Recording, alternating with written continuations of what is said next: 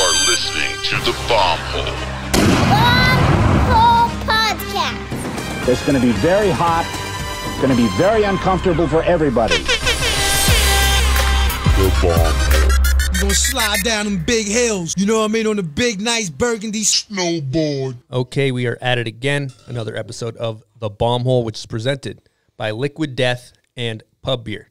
Now, Stony Buds, first order of business, how we doing? So good, my dog. Always, always love hearing that. To my left, we have a great guest today. We have Mr. Dave Downing in the booth. Dave, what's happening? Hi, guys. We are so happy you're here. Uh, for the people that are unfamiliar, I'm just going to do a brief intro. You've been in the industry for over 32 years, started as a snowboard rep, then turned pro snowboarder, filmed over 24 video parts, helped develop products such as the Burton Custom, Burton Split Boards, still doing sales and marketing for, for Burton. And uh, you've basically just played a huge role in snowboarding's history. We're going to talk about all that. Um, still, officially, you have no job title over at Burton. We'll get into that. um, but yeah, there's there's so many things on the docket today. But I want to dive right in and start with the early days of your career. You know, you started as a snowboard rep, and then you know eventually went on to turn pro, which is totally kind of ass backwards. Um, you want to paint us a picture of what that period in your life was like? Yeah, it was a little different than most people, I think. Um, I was 21 years old when I started snowboarding, uh, 1990, and I just fell in love with it. I was a surfer in California. I worked at a surf shop, and one thing led to another. I started working for the Burton Rep in Southern California, and I was the Burton Rep, and I was riding Bear Mountain a lot, or yeah, I was Bear Mountain main, mainly, um, and that was the very beginning. I I think the years were 90 to 92, somewhere in there. Mike Perillo started building this snowboard park. It was called Outlaw Park back then. And it was like off to the side. And it's where basically all the snowboard, they wanted to keep all the snowboarders over there corralled in this little space. And um, that was the snowboard park. And that's where I started getting into snowboarding a lot and riding there a lot. You know, um, Brian Thien was a riding buddy of mine, um, Brian Gucci, uh, Rob Defoe, Todd Messick, all these guys riding Bear Mountain, and that's kind of where I really fell in love with it. And then, so how did you initially go on to get a job in the snowboard industry with Burton and things like that? Well, I uh, so I was a rep Yep. um, for the Burton Rep in Southern California, and um, one thing kind of led to another. It was kind of a weird thing, but I was a, a Burton Rep, and the uh, team manager at the time, Eric Koch, um, hit me up one day and was like, "Hey, can you go to Europe on this photo shoot? Circe Wallace blew her knee out, can't go." And I was the rep at the time. I'm like, because he rode with me at Bear, and I was into it, you know, and I guess I was getting good or whatever. But um, I'm like, yeah, I've never been here before. I didn't even have a passport. So I got a passport, went on this trip, and it was a Transworld trip. And I met uh, Jeff Curtes on that trip. I met my wife now, uh, Shannon Dunn, on that trip, Tina Basich. Um, and it was just a crazy life changing trip. So I come back from that trip, and one thing led to another, but you know, I had an opportunity to go. I started like dating Shannon, and she's filming with Mack Dawg, and I was a Burton rep. And I remember I was at the uh, trade show in Las Vegas at the time, and this is in March. And she's like, "Hey, come to Utah, and you know what? When you're done with the trade show, I'm like, cool." So I went to Utah, and and uh, she was filming with Mack Dawg, I think for the Transworld Video Magazine stuff, and I think he was filming. Yeah, it was TB3 at the time, and she's like, Mack Dawg, can this guy Dave come out? And he's like, no, blah blah blah. Like, you know, you can go out with this guy Kurt and this kid Peter. So I went out with Peter and Peter Line and um, Kurt Heine for a couple days, and it was right here in Utah, and um, we just kind of went up and I had no clue what I was doing really. We were just building jumps, and Kurt's building these sick jumps, and Peter, this kid with his little hat on, is doing crazy flips stuff I've never seen before. And I was just trying to keep up and learn, and we were just having a great time. And then one thing led to another, and I went out the third day with Mack Dawg, and Mack Dawg and I kind of hit it off because we're kind of the same age. And he's like, "Whoa, what's up?" And you're a surfer, and he liked to surf, and one thing led to another, and we had a couple good days with Mack Dawg, and then I remember he just like, dude, you got to go to Tahoe to film with Mike Hatchett. So I flew from Tahoe to, um, or from Utah to Tahoe, sorry. and met Mike Hatchett at Squaw, and we started filming like with him, and that was filming for the Transworld Video Magazine and for TB 3 That's kind of how my like snowboard career went as far as being a pro snowboarder from being a Burton rep. Yeah, unreal. Yeah, so a lot of it comes back to the the relationships and and who you meet. What, what were you gonna say, bud? You just never hear about a rep Mm-hmm. becoming a pro snowboarder, right? Is that I mean, it was different times back then Yeah. for sure. It was it's How, way, how way so? How so? Would you say like? Um, it was more like innocent and kind of real, and it just was what it was. You could just go to a ski resort and just start hitting side hits and filming. Like it was that easy. How, how many? What was the ratio of skiers to snowboarder? Like, how, like there wasn't very many snowboarders. There wasn't well. There was As many. becoming a lot of snowboarders. That was right, right when it started happening. Ninety to ninety-five, it's just blowing up. But there was a lot of pro snowboarders. Yeah.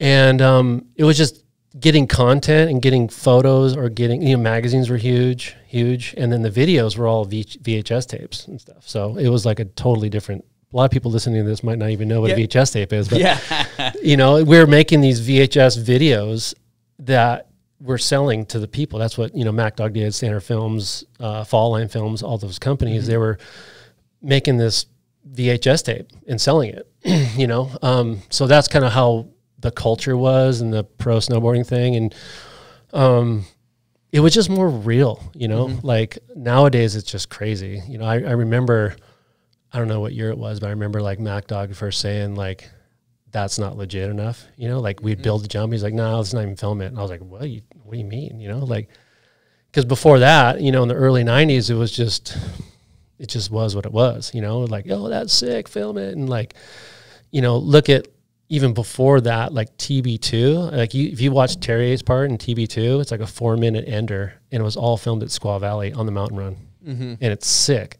But it wasn't like this pre thought of like process of like building the biggest jump and the biggest thing and the big. It was just what it was. Go ride and film it. you can and put it basically film anywhere? huh? Totally, totally. And- so it's changed a lot, you know. And Yeah. one thing I know it's going to come up a lot, but the TB videos were standard that Mike Mm-hmm. Hatchett made a huge part in your career Yep. and, and a humongous part of snowboard Mm-hmm. history. You know, even it's a little before my time, and, and Mm-hmm. so a lot of our listeners might not be familiar with the, the TB stuff. So So the TB, well, before I was even a pro snowboarder, Mike Hatchett made a movie called Totally Bored, and it was a kind of a big mountain board thing. And then Mack Dawg was making these gnarly freestyle videos, Hard to Hungry and Homeless, New Kids in the Twock. So they were kind of on two end of the end of the spectrum, and then they came together and did that movie TB2, which was Mack Dawg and Mike Hatchett coming together and creating something at that time that hasn't really been done. And it was like the gnarliest big mountain stuff and the gnarliest freestyle stuff just moshed together. And it was like, holy moly, that was like nuts. So that's what TB movie started is it stands for totally bored. And then they just kept it on a roll, you know, TB2, TB3, TB4, blah, blah, blah, you know. um, and then let me think about this. After TB5, I think, or six, um, Mack Dawg and Mike Hatchett split. Um, Mike Hatchett kept doing the TB movies, and Mike McIntyre, Mack Dawg, um, started doing other full freestyle projects again, and then all the forum stuff and Yep. all that history too. So he went more just like hardcore freestyle, mind blowing stuff, and then Mike Hatchett was still trying to you know have freestyle in there too, but more towards the big mountain type of free riding stuff. Well, I happen to have a guest question from Mike Hatchett. Oh boy. Here we go. Hey guys, Mike Hatchett here. Got a question for Dave. Hey Dave, in the 90s, when a writer had a video part in one of the major movies, what was the impact like? And could a writer base their career off these video parts? Okay, first off, you got to hit all your horns like on your thing right now, like every one of them. Super 'cause air It's a super air horn. Mike Hatchett deserves every horn you got. Like We got applause too. you know, just go off. I'll answer the question, but first off, Mike Hatchett is just every snowboarder needs to like understand how much effort and blood, sweat, and tears that guy's put into snowboarding. Um, I mean, people won't even even if I talk about it, people won't understand it. But like the whole Alaska thing, free riding, flying around in helicopters, shooting, snowboarding, all that was him and his brother and a, small group of people going out on a limb and just going for it, like with hardly any education and just going for it and then learn and just it was huge back then. That was in the late '80s, early '90s, um, and then I just got to give him props for everything that I kind of was as a snowboarder. He taught me, he mentored me. He, it was like a education process, you know, my whole life with him. Um, he's a great friend. I mean, really, I've, I've talked about it before, but um, people you spend a lot of time with, and you can probably understand this, Chris. Like you're filming with people, even in the city, like you're going through gnarly stuff, and like they're your homies for life. And Mike Hatchett's like a war person. He's like I'm homies with Mike for life. Like we've been through stuff, and I just have the most respect for him for sure. Yeah, Um, that, there's a there's a special bond with people you've been in the trenches with. Yeah, for sure. know? But the question, like, um, you know, I kind of answered it a little bit, but like, you know, the whole career was you went out and you filmed for six months out of the year and you're delivering this hopefully two minute package to, you know, make yourself whatever, uh, sponsored or paid, you know, your, your, your sponsors are paying you to go do this stuff, you know? And, you know, really, I thought about that. All that stuff I did in filming was I just wanted snowboarding to look fun. And I wanted people to look at it and be inspired to do it. I kind of, I never really wanted to like do the gnarly stuff and be like, oh my God, you're a hero. But, um, I was never like a risk taker, like the gnarliest thing. I just want to do the things that are the most fun and make it look fun. And if somebody watched me snowboard, I wanted them to be inspired to go do it because I love the sport. I think it's awesome. It's a freedom of expression. It's just a great thing. Um, so that's kind of what my career was. Those video packages, you know, and like I said, it was like a VHS tape, and then it went to a DVD, and then it was digital. Um, one more thing, like regarding Mike Hatchett, was a lot of people don't understand that back then it was 16 millimeter film. So Mike and all the filmers back then were filming these crazy huge cameras. His pack was like 80 pounds or something. And it was like these, they were loading film into this thing. And we would never see the footage. My whole career, basically, like I never saw the footage. So you'd go film, and then a month or two later, he would get the film developed, and then we'd go over to his house in, in uh, Tahoe, and we'd sit around in his living room and watch the footage. And it was gnarly, like Noah's there and Kevin Jones, and they're just tearing into you, like, "Oh, that's sick! Oh, too bad you hand dragged, or like your style sucks, or just." You're just sitting there going, "Oh my gosh, dude, I'm getting torn apart by Noah Salasnek," You know, Yeah. like it was, it was pretty intense. Um, but I think it made all of us like better in a way because we would sit there and watch the footage and like we would all go out and want to make a better thing, you know. But it was it was difficult not seeing the footage right away because I'm almost jealous of you know kids these days. They can see the footage right there and go, oh, they see it on their phone or whatever, and like, oh, yeah, I did, I got to do it again or whatever. But back then we didn't get to see that, Another thing to put in perspective too is like you got three minutes on a roll.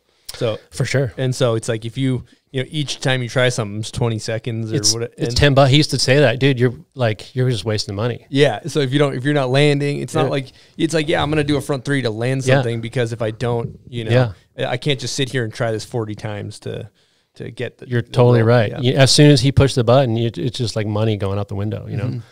So it was a different time for sure. But it also something about shooting film is timeless. Where it's it's weird how it's like it does it, it ages really well. It, it like it doesn't.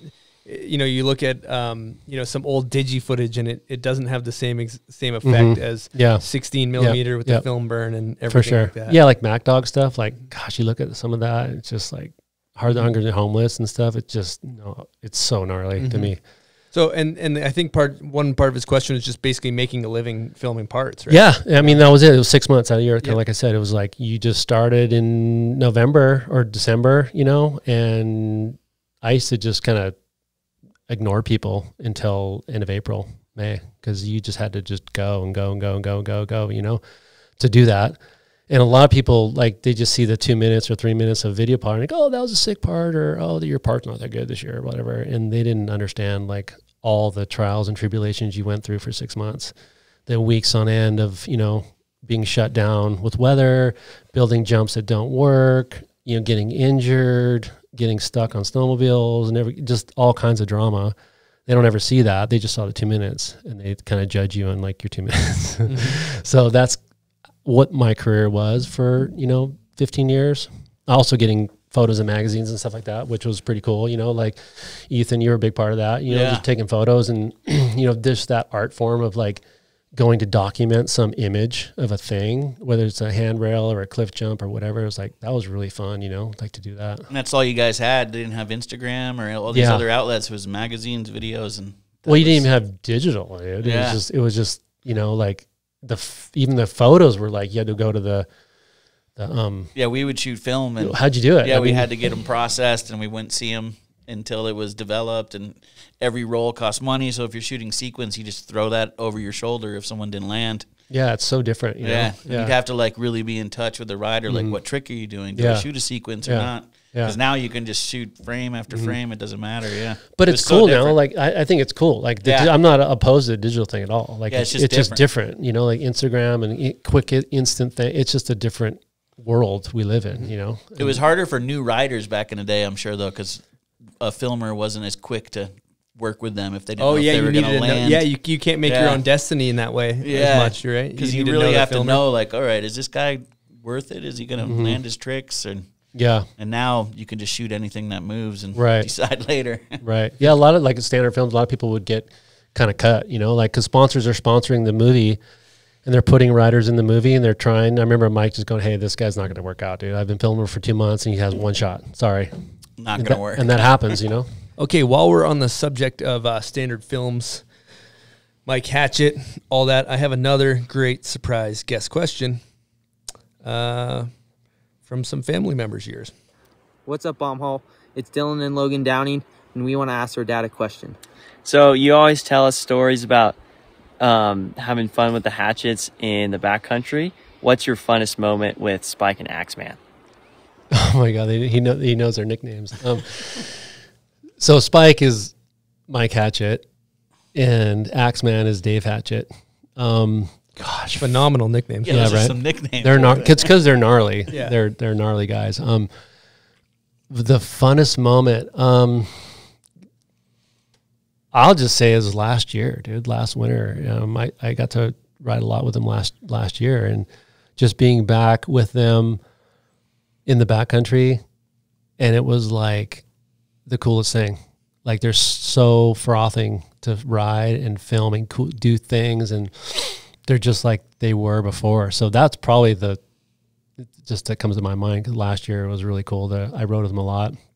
Uh, Mike Hatchett filmed some stuff for Burton with me, and it was really cool. Um, just to be back doing that. So that's what sticks in my mind. But um, another moment I would say was just my first year to Alaska, and this could be a whole nother podcast. But it was uh, TB five, and it was with um, it was me and uh, Johan Olofsson and Victoria Jealouse and Mike and Dave Hatch were up there too. And that whole two week trip, it was 14 days, and we had, I think it was 13 days of sun. Holy shit. And it was just like, I get goosebumps thinking about it because it was just crazy. We flew in, the storm just ended, and we had 13 days of blue sky, stable conditions, and it was just insane. And Mike and Dave were just, you know, so um, awesome to coach and mentor me in that whole process and that trip. Uh, it was just those are the, the coolest days for sure. That was your first trip? That was my first trip. Um, I forget what year it was. It was probably like 95 or 6. And that was with Johan, like I said, Yeah. and Victoria Jealouse. So we were kind of like the new ones. And then the other heli was, I think it was, it was Tex Davenport for sure. Um, Tom Burt and I think Matt Goodwill. Wow. So it was like these gnarly dudes. And I was like, these guys are like men, you know, like whole like gnarly. And then it was our- me and Johan. For our listeners, you never get 13 days of sun. Yeah, you might get one day of Yeah, sun. that's well, I, yeah, I've been back there many times, and it was like you never get that. Yeah, you so I- never get I, had that. no idea. You must have burned some serious budget on that. yeah. I, and that was back then when it was like When it was y- flowing. You could just go right, and it was just like, wow, this is the best thing ever. This is amazing. You know, Mm-hmm. A huge eye-opening experience. You know, um, and then Johan Olofsson. If if people don't know about him, look him up. But he's probably the the gnarliest snowboarder I ever got to see with my own eyes. Sick. A lot of gnarly, gnarly stuff go down. And the Alaska trip was crazy. I'll, I'll give you a little context. So, he was this kid from uh, Sweden, full freestyle ripper. He Used to ride switch in the half pipe. He used to literally go to the U.S. Open and ride switch, and the judges didn't even know he was riding switch.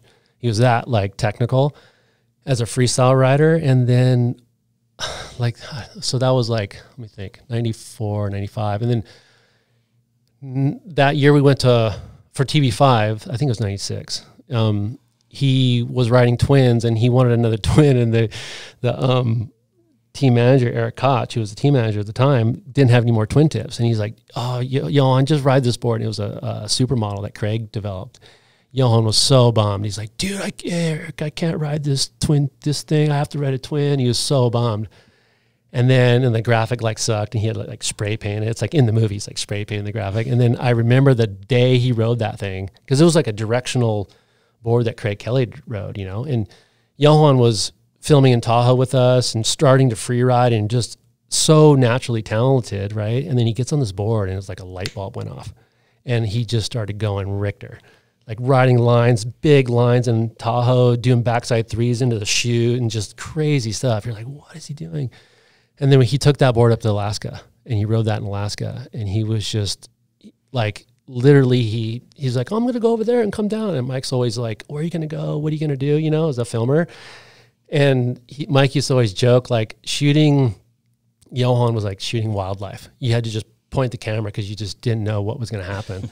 and that Alaska trip was like that. It was like he was just like a an animal out of his cage and he just going crazy. So watch that TB5 part of him in Alaska and that was like really the first time I saw anybody do like freestyle type stuff in a big mountains thing. Wow. Mm-hmm. You know, and it was just crazy. Big mountain freestyling. Yeah. that's sick.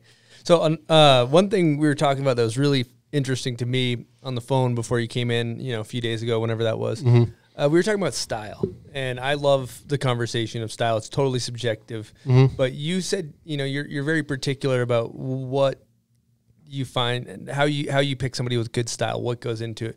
What and, and what do you think are the factors for you of what makes somebody have good style, and who would you put in the category of some of the greats?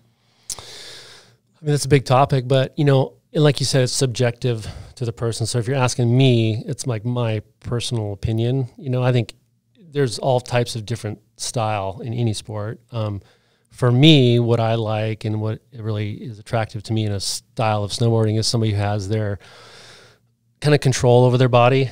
You know, um, that's not super crazy. They they just are smooth and their brain and their body and their board is all working together. You know, um, I mean, I have a huge list, but you know, Craig Kelly. Um, I mean, somebody now like Blake Paul, like that's a perfect example for the now. You know, like he just has control. He's not doing the biggest thing, the craziest thing.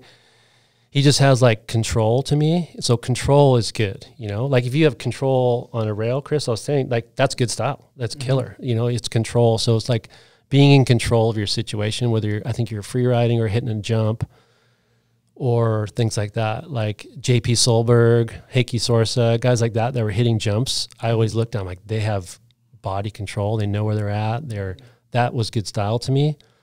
Um, and then turning, you know, that's a whole different thing. But um, just Craig Kelly uh, entering and exiting a turn, Terje Haakonsen, like I mean, if anybody ever rode with Terje at a ski resort, it's pretty mind blowing to just ride behind him and just go, what is going on? Like just his control of his board and what he can do with his board, you know, just riding down a groomed run. So Mhm. to me, that's style.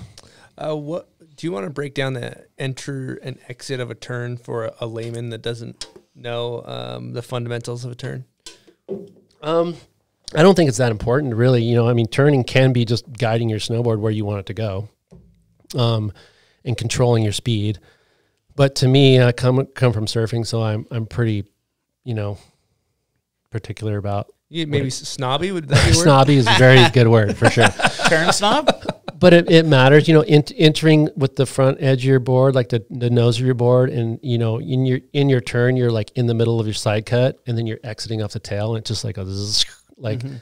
so that's a turn to me. A samurai slice. Yeah, it's just like entering and then in, exiting a turn instead of just kind of sliding and controlling your speed and slowing down, as opposed to like turning your board. Like if, when I watched Noah, taught me a lot about that. Noah, Noah Salasnek. Noah Salasnek, give me an air horn there. Absolutely. at least one. Um, he he was like one person that really taught me how to come over a, a convex roll with style and not blind myself and turn into the line because a lot of stuff we we film like especially in Tahoe there's like a convex roll like there's like a roll and you start up here where it's fine it just rolls over into this st- steep spiny thing Can't see where you're going. yeah, and you can't see where you're going. And um, he taught me how to like turn into it, and you're controlling your speed by turning. You're not just like slowing down and scrubbing speed. You're like riding the line, Mhm. you know. And that was like something that really, like, I wanted to, do was to like ride the line instead of just like survive the line. Mhm. Because there can be a lot of that. Like you can go down some pretty gnarly stuff, but just kind of survival Mhm. as opposed to like ripping down this line. Um, Well, for so- the for the layman too, like what's really common uh, when you're riding a big mountain line or or something that's a convex roll Mhm. is a, I remember my first experience. You drop in, you do your first turn, and as you throw your snow, it, you throw it in front of you. White room. and you white room, and you and then you're all of a sudden you're heading off of towards some Mhm. finger, and you can't see where you're going, and then you got to kind of like slow down, and it's a disaster. Mhm. Mhm. So like learning how to turn to keep the snow behind you and things like that's what you're talking about. Yeah, you kind of don't want to spray your face all the time. I mean, face shots feel great, and I, I love face shots, but like, yeah, there's a time to do that and not. It just there's a lot of different types of turns. Really, like I find myself now I'm 53, and I feel like I'm snowboarding better now than I ever did as far as turning goes. Like. I just have a little more knowledge about the board and what it's doing, and my in and turning. I feel like I am turning better than I did when I was, you know, 30. So it's something that you can c- improve even though you're getting old and decrepit. Now I know you're huge into surfing. Uh, what what kind of what kind of factors does that play? In a uh, the eternal fountain of youth, like you and Richards and people that surf a lot seem to not age, and uh, B in turning. Um, I think the ocean's great just to be in. You know, it's awesome. Um, surfing is like opposite of snowboarding. Snowboarding is like really like static, and you get really stiff and sore because you're just like shock absorbing all day long. Um, surfing, you're it's a very fluid thing. You're paddling, you're using your upper body, and so it's a different thing. It's really good for your body. Um, after surfing for ten hours a day, you could be you just feel so good, you know. And after snowboarding ten hours, I can barely walk. So it's a different thing for your body. Um, but it's good for now that I look back at my career snowboarding, like surfing, because I surfed for, I don't know, 10, 12 years before I started snowboarding. And that really helped my snowboarding because, like, I was just trying to surf on the snow when I was riding powder, you know? Yep. And that's like a big influence Yeah. there. So in regards to surfing, I got one little sidebar I got to throw in there. Uh, Alex Andrews, aka the Froth Puppy, who is your mentoree. Uh, He's my, he's my bro. He's your Padawan? bro. Yeah, he's your bro. Uh, he's learned a lot from you through Burton and life in general. But he's I surf with him, and the way you know I'm I'm not good at surfing. We live in Utah. We're landlocked. Didn't grow up surfing. Horrible at surfing. Love it though. So when I go out there, I paddle out to pass the wave, stop, and then just wait till a wave kind of comes to right where I'm sitting. He said, "Nah, dude. When you're surfing with Dave." You don't ever stop. You're always paddling. You're always paddling. You don't ever sit on your board.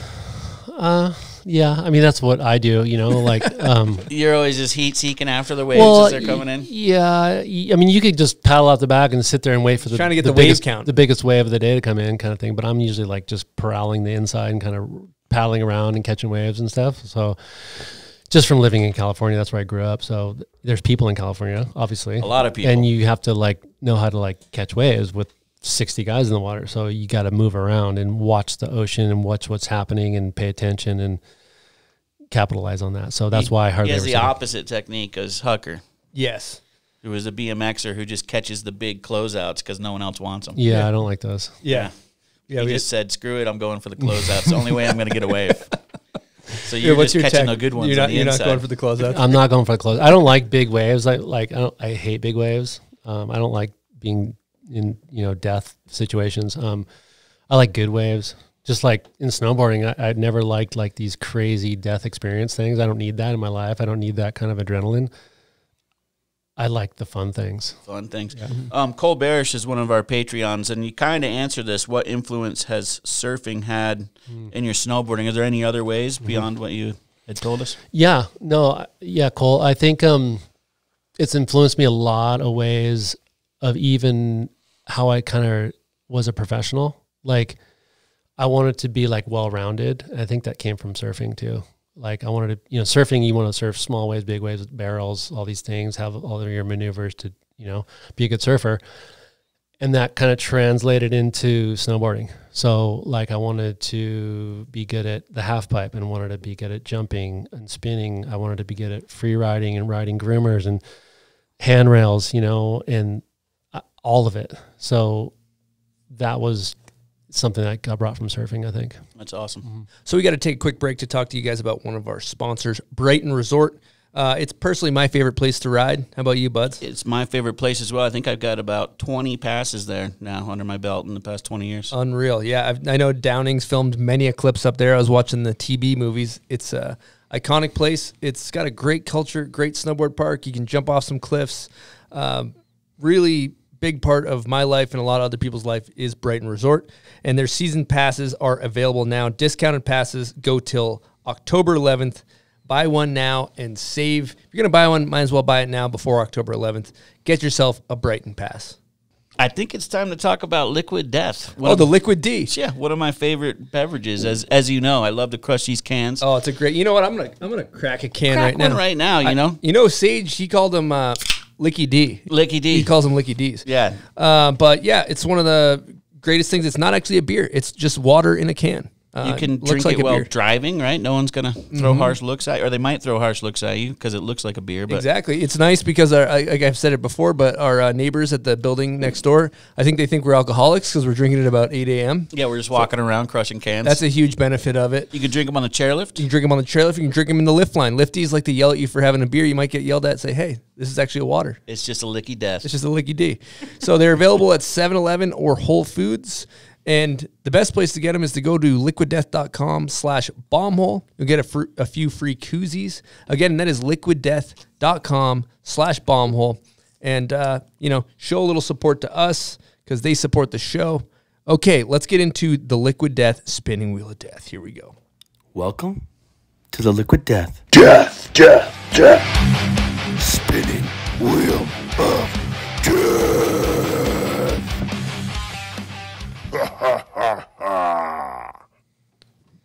So uh, explain what's going on here, bud. Yeah, so you're gonna spin the wheel, and you got to give it a good, good spin here, and uh, what you land on will be your fate.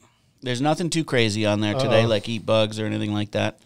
But uh, yeah, there's some donate to the bomb hole, do a smelling salt, blind touch taste. donate. Oh, we donate. Yeah. so we you might hit us with we might be donating some money to your Tell favorite you where to donate stuff. Yeah, give us a What do I good spin spin, and we'll tell you where you land. Good spin. Oh, Blind touch test. Blind touch test. What's that? we're gonna put three items in front of you. You got to blindfold yourself and try to guess what they are. Oh, jeez. Oh, jeez. Yeah, that looks like it'll work, huh? There we go. Can you see? No. I don't think you can see. Um, okay. What do I? Put it on the desk right in front of you. So turn to the left. It's right in front of you. Touch the desk. There it is. Feels like hair. So what do I got to do? Guess it? Guess what it is. Guess what it is? He's touching It's a it. toupee. yeah, it's it's a wig. Yeah, it's that's my correct. hair. It's my hair. Can I put it on? It's a full wig. Can I put it on? Or Yeah, sure. Put it on. I've always wanted hair. Hold on, hold on. Hold on a second. I take my headphones off. Well, there's two styles. See, I don't have. I don't have, oh, that blonde one's sick. Oh, great. What what color is your your hair naturally? It's color brown. So this is what you look like. Is that Wild good? hairstyle. I think it's on backwards. Oh, is it?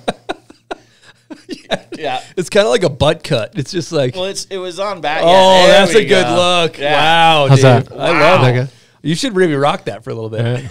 Uh, Then I have to shave my we, head. We got two more items you got to pick, so you got to put the beanie back on. You should keep that thing on for a sec, though. No? He's kind of weird. He's kinda nasty. yeah, uh, throw, yeah. Throw the thing over your eyes, and then I got a couple more items in the old uh, blind. He's doing he's doing pretty good so far. All right.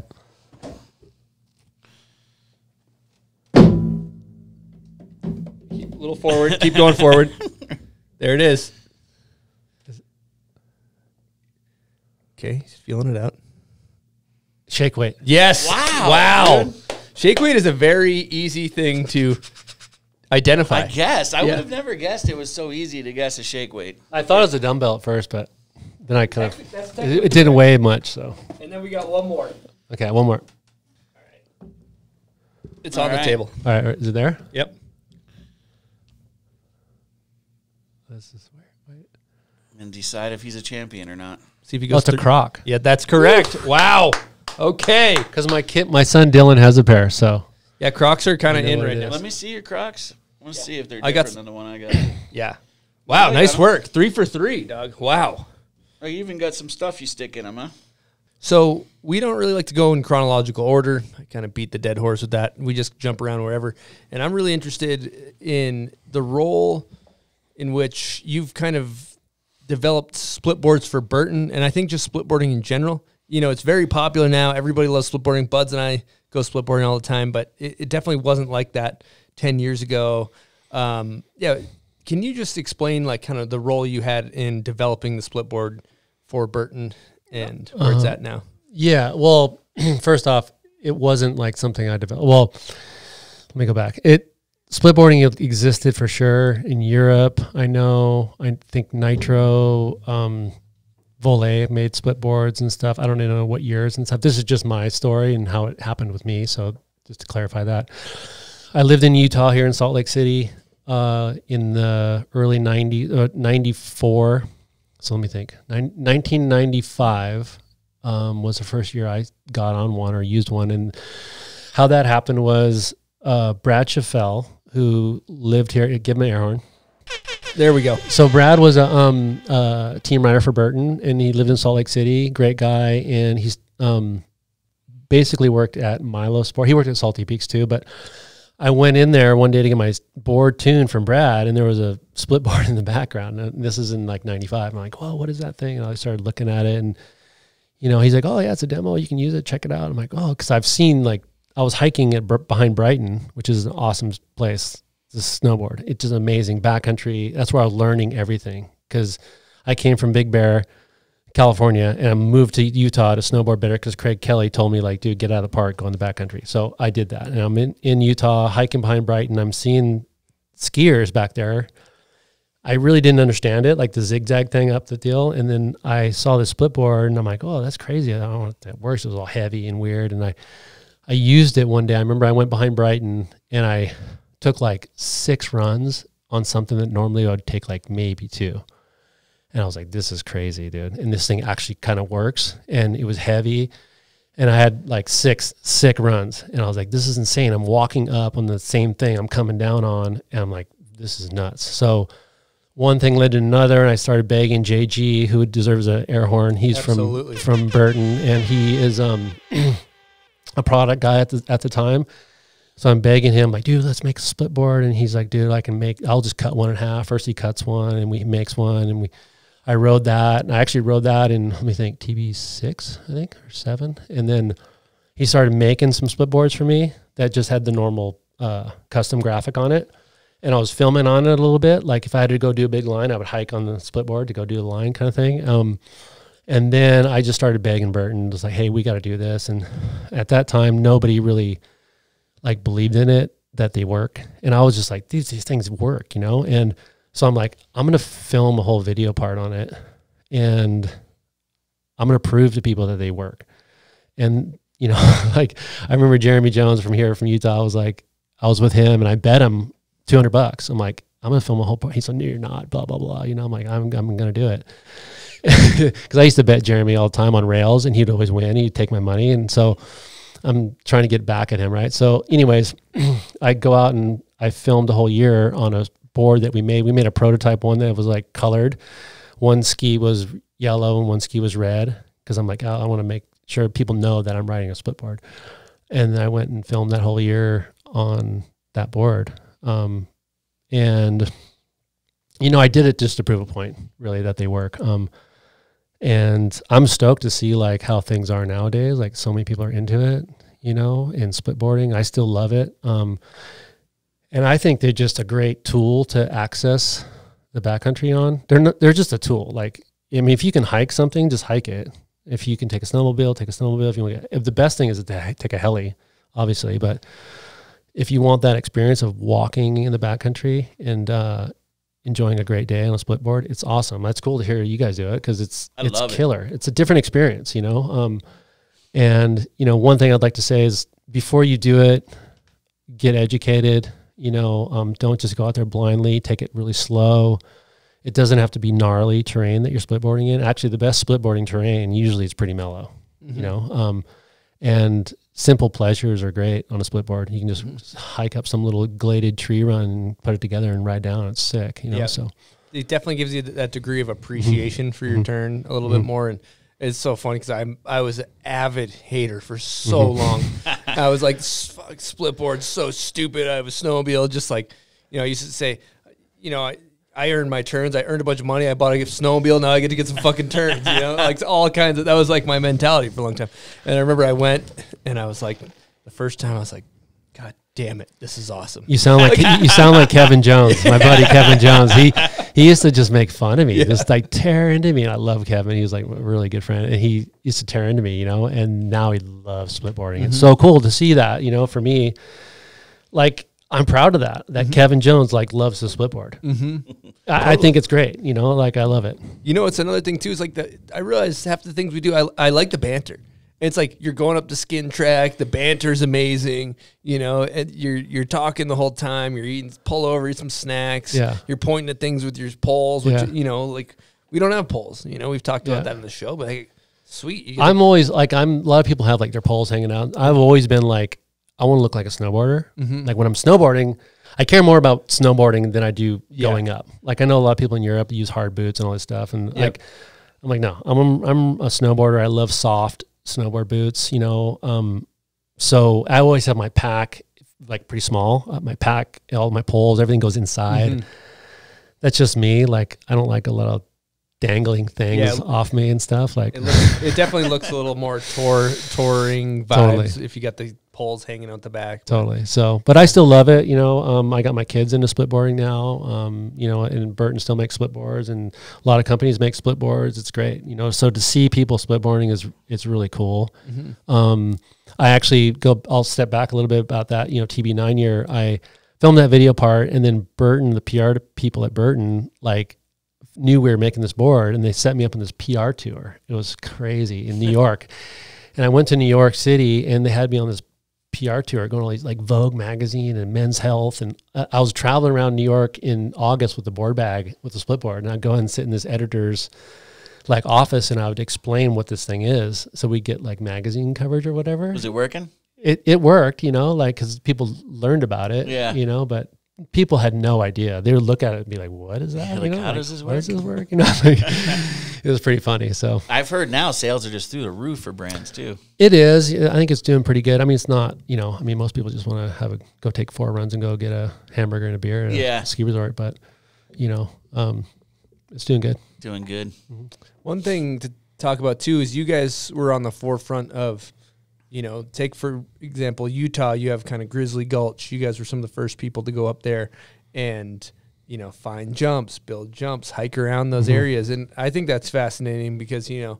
For me, as you know, fourth generation, I don't know how, Mhm, how many more mhm. generations behind you Mhm. guys are, it was, but you go up there and you know, at the there's so many jumps. Oh, you know, these are the TB cliffs. These are the this Mhm. is uh, Chad's Gap. This is everything's been hit. There's Pyramid Gap. Here's what's been done on that. And it, I just can't imagine what it would have been like to go up there and there's a there's not very many people up there, Mhm. and b just kind of this blank canvas of like like like possibility that nobody really tapped into, right?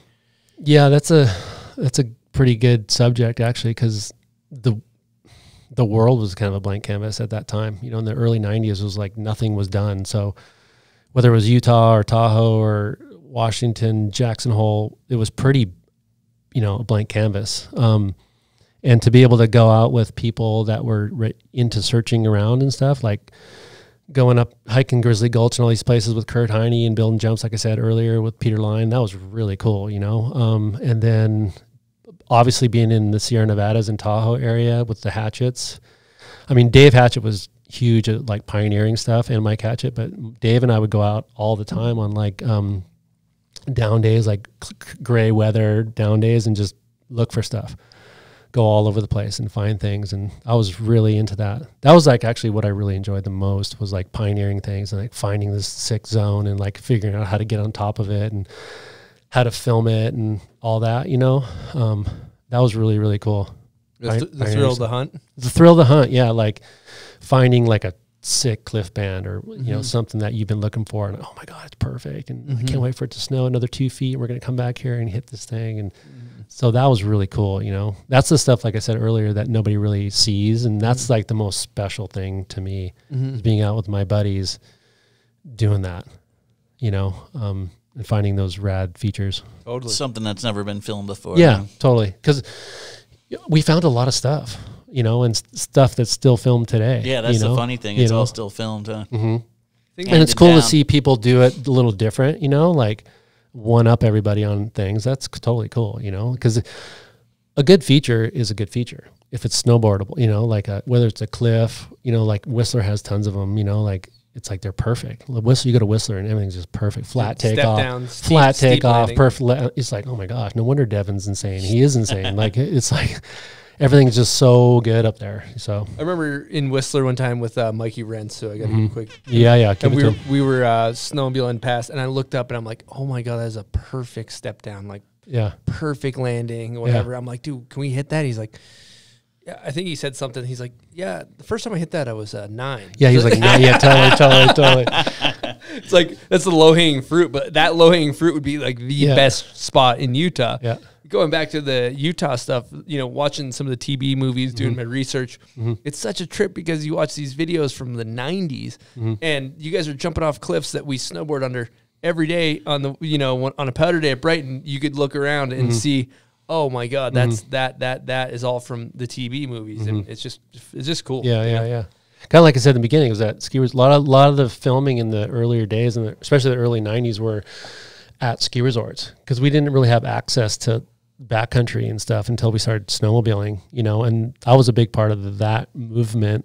Um, I'm trying to think of the year. It's probably '96, and I remember like snowmobiles and you know Mack Dawg and Mike Hatchett. We were just getting into it, and the snowmobiles kind of sucked, and we were always getting stuck. But we are using these things to get out and access places and find places and pioneer stuff. So I was a big part of that group, you know, to go find things. Um, in the United States, you know, there's a whole nother group of people doing that up in Canada, Brian Savard and a bunch of other people.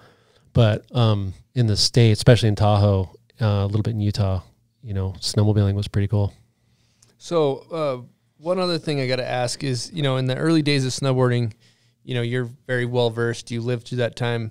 Which snowboarders do you think had the biggest impact on snowboarding today? Well, without a doubt, Craig Kelly, um, just because I don't, it's hard to, for me to imagine like a professional snowboarder without Craig because he was kind of the first like professional snowboarder. Um, he just did so much about for snowboarding and Craig Kelly for sure. Um, and then JP Walker is a huge, um, and Jeremy Jones, but like JP changed a lot of things.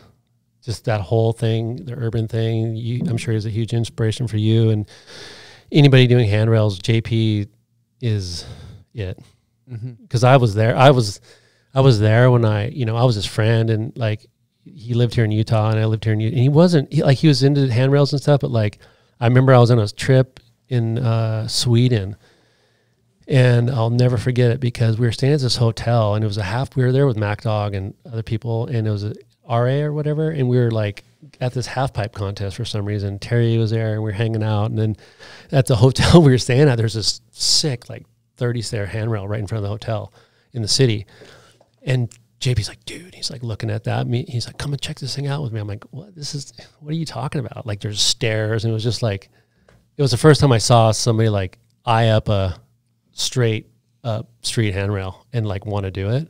And I was like, what are you doing? You know, I remember his jacket too. He had that like a special bin jacket. Uh, it was like blue stripes with the American flag on the shoulder. Mhm. And he like stepped to this handrail right at the hotel. It, it went right into the like lobby of the thing. And it was just, wow, dude, like this is different now. And that's kind of what for me, like, I saw him start that, and then he just kept taking it with him and his group of friends and what they did in the urban environment. You know, like traveling to cities, and I was like, "You guys are nuts!" You know, like it just ch- that changed a lot. So that's kind of why I say J.P. Walker. Um, and you know, there's a lot of people like peers of mine that I looked up to. Uh, Chris Roach, like I said, Noah Salasnek. Those guys are big, like in that whole style and making snowboarding rad. You know. Mhm.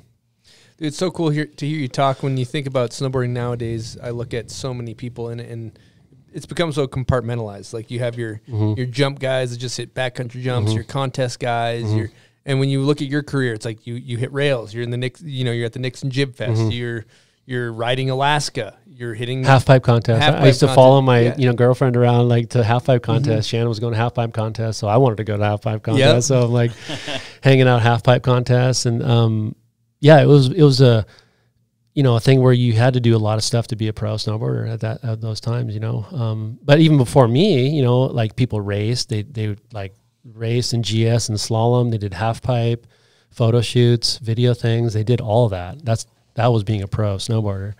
Um, you know, and then like Kevin Jones, like I said, he would film a Mack Dawg part and a standard films part and win X Games and go like it was gnarly. That's crazy. Gnarly. Like kids don't understand. Like he was grinding like Mhm. you know two major video parts and Give then big old and winning the X Games. Yeah, it's like nuts. I think that could be a perfect segue for a guest question that we have from none other than Kevin Jones. Oh, geez. Here we go. Dave Downing. KJ here. Guest question of the day. Could you please demonstrate how to construct the t-shirt do-rag? oh my god. And how does this help you whilst performing on a handrail? Especially at the inaugural Nixon Jib Fest events. And could you please wear said do rag for the next 10 minutes? All right, Kevin. I love all his delays. Yeah, and his, right.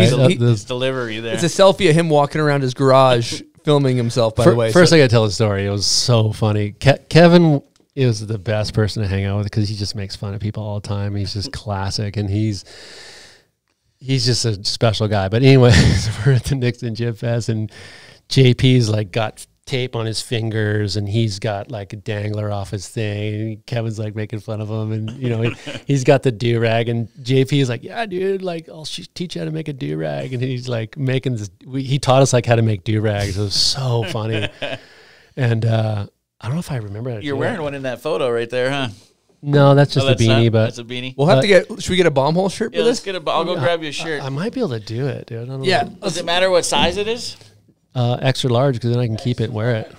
All right, so I'm. This is the do. If I can remember, this is the do rag thing. JP taught me. I don't, I'm not going to put tape on my fingers though. I always thought those were finger bands. I thought they were like sweatbands for your fingers. No, dude, it was like tape or something. He had tape. Oh, okay. Is it because he hurt his fingers, or is it?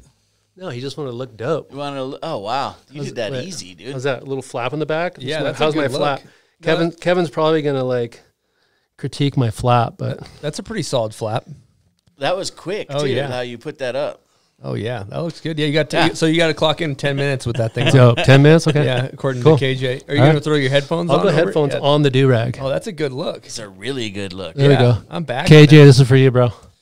And that went up quick. And I, too. he, I guess he one of his questions was, uh, how did it uh, help your performance on the rails? It didn't really. Like I was just trying to keep up with Kevin. It might have been a look good, feel good type was of moment, totally- though, Yeah. you know? It was total. That was at uh, Snow Summit Jib Fest, Mm-hmm. and uh, I f- that was the second one, maybe Yeah. if I'm remembering right. But those events were super cool. I don't know if I should talk about that, but it was Yeah, really cool. Like um, that was Chad DiNenna Nixon. He deserves another air horn too. He's an awesome guy. But he um, you know, came to myself um, and then JP and Jeremy and like, dude, what do you guys want to do? And he's that kind of guy, you know. Yeah. And we just came up with an idea. Of, that was at the time where like X Games and super serious contests were coming in and stuff like that. And we're like, yeah, we just want to do something fun and blah blah blah. And there was not nothing with, you know, rails or that type of thing yet, really. So we just like, hey, let's invite our friends and let's just do our own thing. Um, and it wasn't really a contest; it was just like a hangout, Looked awesome. you know. But it was super fun. Got the cover of some magazines, right? You had a lot of content. Like Chad was great. Chad, Chad used to work for Transworld, and then he started Nixon, so he had all these contacts, and he basically got all the media there, photographers and filmers, and Mack Dawg was there, obviously, and Yeah. and did the videos that Mack Dawg did. It was just great. And it so worked out. yeah, And we have an iconic print of you doing a nose press from the Jib Fest that Rob Mathis got to give an air horn to Rob yep. uh, from the glory days. Glory days. The glory. There, there was a video called Game Show that I grew up on, and I'm not sure which best it was, but I remember specifically Nate Bozung doing a backlip and and JP doing a backlip Mm-hmm. Yep. on a rail. Yep. And it was the first time I remember seeing a snowboard backlip and being like, "Oh fuck, that's how you that's Mm-hmm. Yeah, that's a is. backlip." That's how Yeah. you do it. I think it was from this one at at uh at Bear Mountain. I think Yeah. yeah, yeah. Mhm. And Jeff Anderson was there. Yep. Jeffy deserves a couple of yes. Yeah, Jeffy. Yeah, beautiful. Yeah, and then you know they had the circle rail, so much iconic things. That's, And- I remember and- that cover. Who Kevin Jones, I think, had a cover on that. Maybe, Yeah. maybe Jeremy. I can't remember. No, it was Brian Thien, maybe. Oh, Thien, Yeah, Chico. Thien, Thien was like always the standout guy at, at the Jib Fest. He always had such He's good just style, sick, huh? dude. Yeah, yeah. Brian Thien was awesome. So one thing I think we should talk about is um, you're married to Shannon. Mm-hmm. She who was a you were she was a pro snowboarder as at the same time as you. Uh, you guys have an awesome family and things like that. But I, I'm curious as to how you guys managed your relationship, both being pros and and being in the industry, and, and what that looked like. Yeah, through that six career. month window of would you see each other or not? Or Yeah, yeah. It was it was it was tough. You know, like I said, that's kind of why I got into riding half pipes and stuff like that because she, she was going to yeah, she was going to half pipe contests. But you know, when we were dating, I, I lived here in Salt Lake City, and she had an apartment here in Salt Lake City. I lived actually at Tina's Basich's house, and I rented a room. She deserves air horn too. Um, and um, so we were dating here. I was filming videos at the time, and she was doing contests. So you know, when we were here, we were seeing each other. But then I would travel around as much as I could, kind of to follow her around. Um, but yeah, we've been married for 22 years. She's awesome. Still snowboards, awesome. I mean, she for a few years, like five or six years when our kids were younger, she was just cruising with the kids. She's such an awesome mom. So she was, you know, not that into snowboarding. Now she, she's totally into it. She's ripping, dude. That's like it's so sick. Like in the backcountry and stuff, she's just on it. Like it's really, really cool. And once my kids got um, older, so I Logan's 18 now and Dylan's 16. You know, but once they started like riding, and she just got back into it. It's super cool to see her like love snowboarding and because she's good at it. She's awesome. She did a lot for for women snowboarding in general. Yeah. I mean, people don't really know, but she pioneered a lot of things, um, especially women's product, um, just boundaries for for women, uh, style, all kinds of stuff in snowboarding. So all the women out there deserve to give her a big round of applause. it's crazy. You met her on your first trip too. I didn't know that. Yeah, yeah, it was that that Italy trip. I met her on that trip. That's wild. Yeah. Yeah, and she thought I was. Uh, she heard him like this guy Dave Dowd was going, but she thought it was Dave Dowd. Oh, thought you were You Dave knew who Dowd? Dave Dowd, and Yeah. she's like, "Why is Dave Dowd going on this trip?" I'm like, it was pretty funny. so now that you're a dad, uh, how rewarding is it watching? You know, what like you had a career, and now you watch your Mm-hmm. kids and get to go snowboard with your kids and your family. What you know, how does that compare to being a pro? it's way better. I mean, uh, just riding. I mean, I remember like eight years ago, I was telling people like I would rather go take groomer runs with my kids and go out in the backcountry and shred. Like it's just so rewarding and fun to like just follow your kids around and watch them like look at a side hit and go over to it and just like hit it. You know, like it's so cool. Like just little things like that are just really rewarding for me as a dad to see that. And then now, like they're in the backcountry with me and they're like shuttling me to the top of stuff. and It's like this is really cool, you know. So, um, just to see him become like into snowboarding and love it, you know, split boarding and all kinds of stuff. It, it's just really cool as a dad to see them get into it and like it. You know, And they're pretty deep into it, or what? I mean, yeah, they're they're into they're into a lot of I things. mean, if they're shuttling you up and stuff, they're pretty into it, Yeah, I'm no, sure. they're into it for sure. They're they're into you know skateboarding, surfing a lot. They're in, really into fishing um, Yeah. and snowboarding. So they're pretty active kids, but um, they're awesome. That's cool. Have the tuna been hitting out there on the boat? Dude, that's a whole nother podcast. But yeah, it's been it's been a pretty epic summer. Yeah, I got a Patreon question about this. Yeah, let's hit it. From Charles uh, Nuccio. Heli trip or boat trip? Since I've been on a lot of boat trips now, I'd say heli trip. Especially if it's depends on the Alaska. season, if it's Alaska, yeah, I'm down. Um, but probably heli, probably heli trip. Yeah, Always yeah. heli. Bagging a big tuna or bagging a big old heel side turn on a finger in an Alaskan line? What do you got? Like I said, I've had a lot of, lot of tuna this summer. I'm kinda, my, my freezer my freezer's full, so I'd go for the heel turn in Alaska. Okay. I'm gonna go back to back Patreon. Oh, here we go. Hit another so, one. uh, this is from Travis Kerr. You were talking about Craig Kelly. Mm-hmm. Best advice or quote ever heard from Craig or memory if you can't remember specific words. Okay, I gotta take the do rag off because I'm talking Get about serious? Craig. I'm, Yeah. I'm talking about Craig. That's, that's good. Good Respect. style. I gotta take the do rag off because he, he. I would- think that was ten minutes too. I think that's Yeah. he would was he would he would die if I was talking minutes. with a do rag on. Um, like I said before, I think it was the breathing thing that Craig taught Oh. me. You know, That was on a different. yeah. So re- reiterate Oh, that so the listeners know.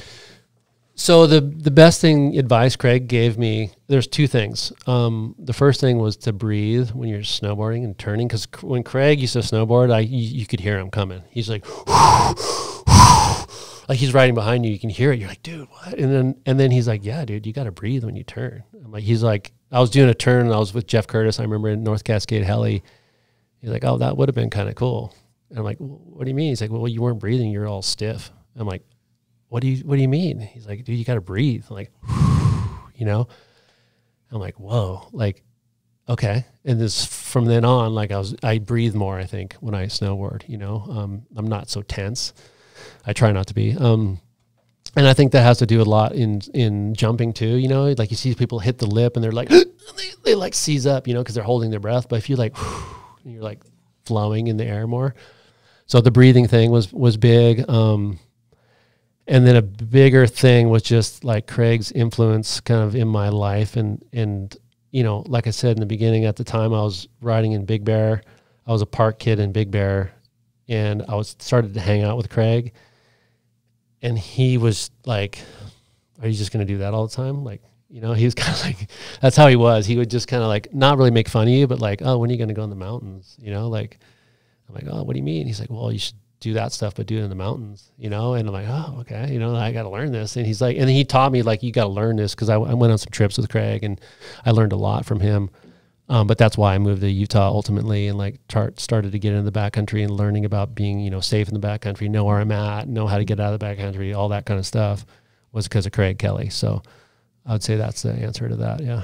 That's that's awesome. I love what you said about you could hear him behind you breathing because not many people have experienced Yeah. Craig riding behind them. You know. Yeah. Yeah. Yeah. He, he definitely breathed a lot for sure.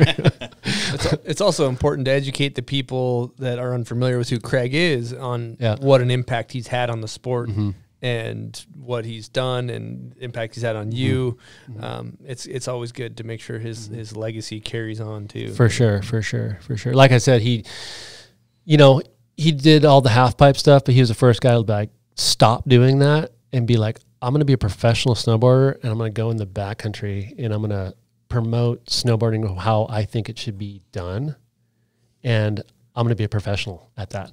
Yeah, 'cause he was so good at the half You, pipe. you know what I mean? Yeah, he was like dominating Yeah, the half pipe, and he dominating. just When I was young, he and was he was just kind of like, I'm over. I'm gonna go out in the wilderness, you know. And so he's like huge inspiration for me, and f- you know anybody in snowboarding. Really, he has uh, a lot to do with where we're at. I think now, for sure. Beautiful. I think uh, we should hit a little name that video part. Oh boy. Okay, here we go.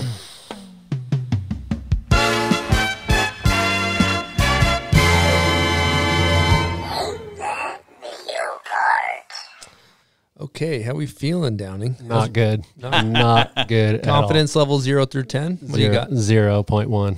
Ooh, I like that. She's got like a little glimmer of hope. Yeah, little glimmer. Well, it depends on what era you're going into. He's here. usually pretty kind. Dude, We'll see how you do. Let's. If it's a Craig Kelly smooth groove part, Ooh, I, I would- might I might get that one. But well, it's All right. not that one, All so right. maybe All right. it's maybe it's point He's zero never one. seen Smooth Groove. Okay, here we go.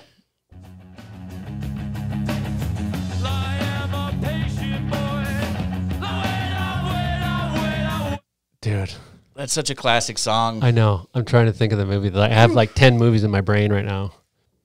The movie was made by somebody that did a guest question already.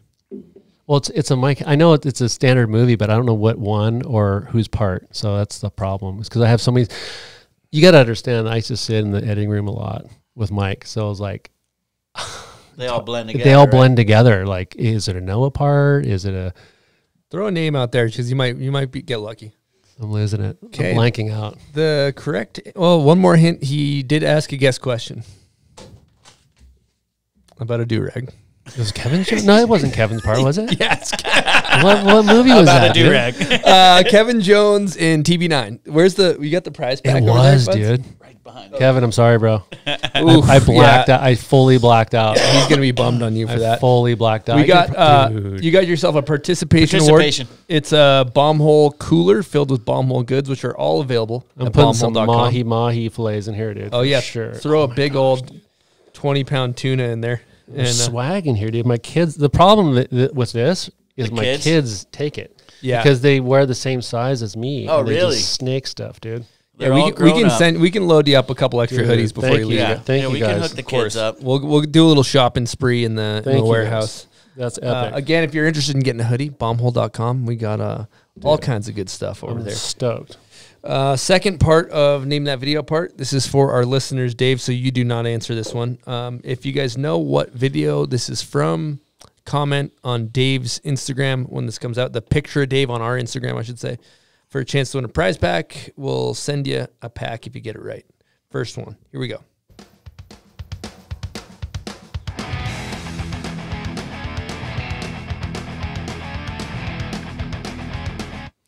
Okay, thank you guys for playing. No clue on that. Name that video part.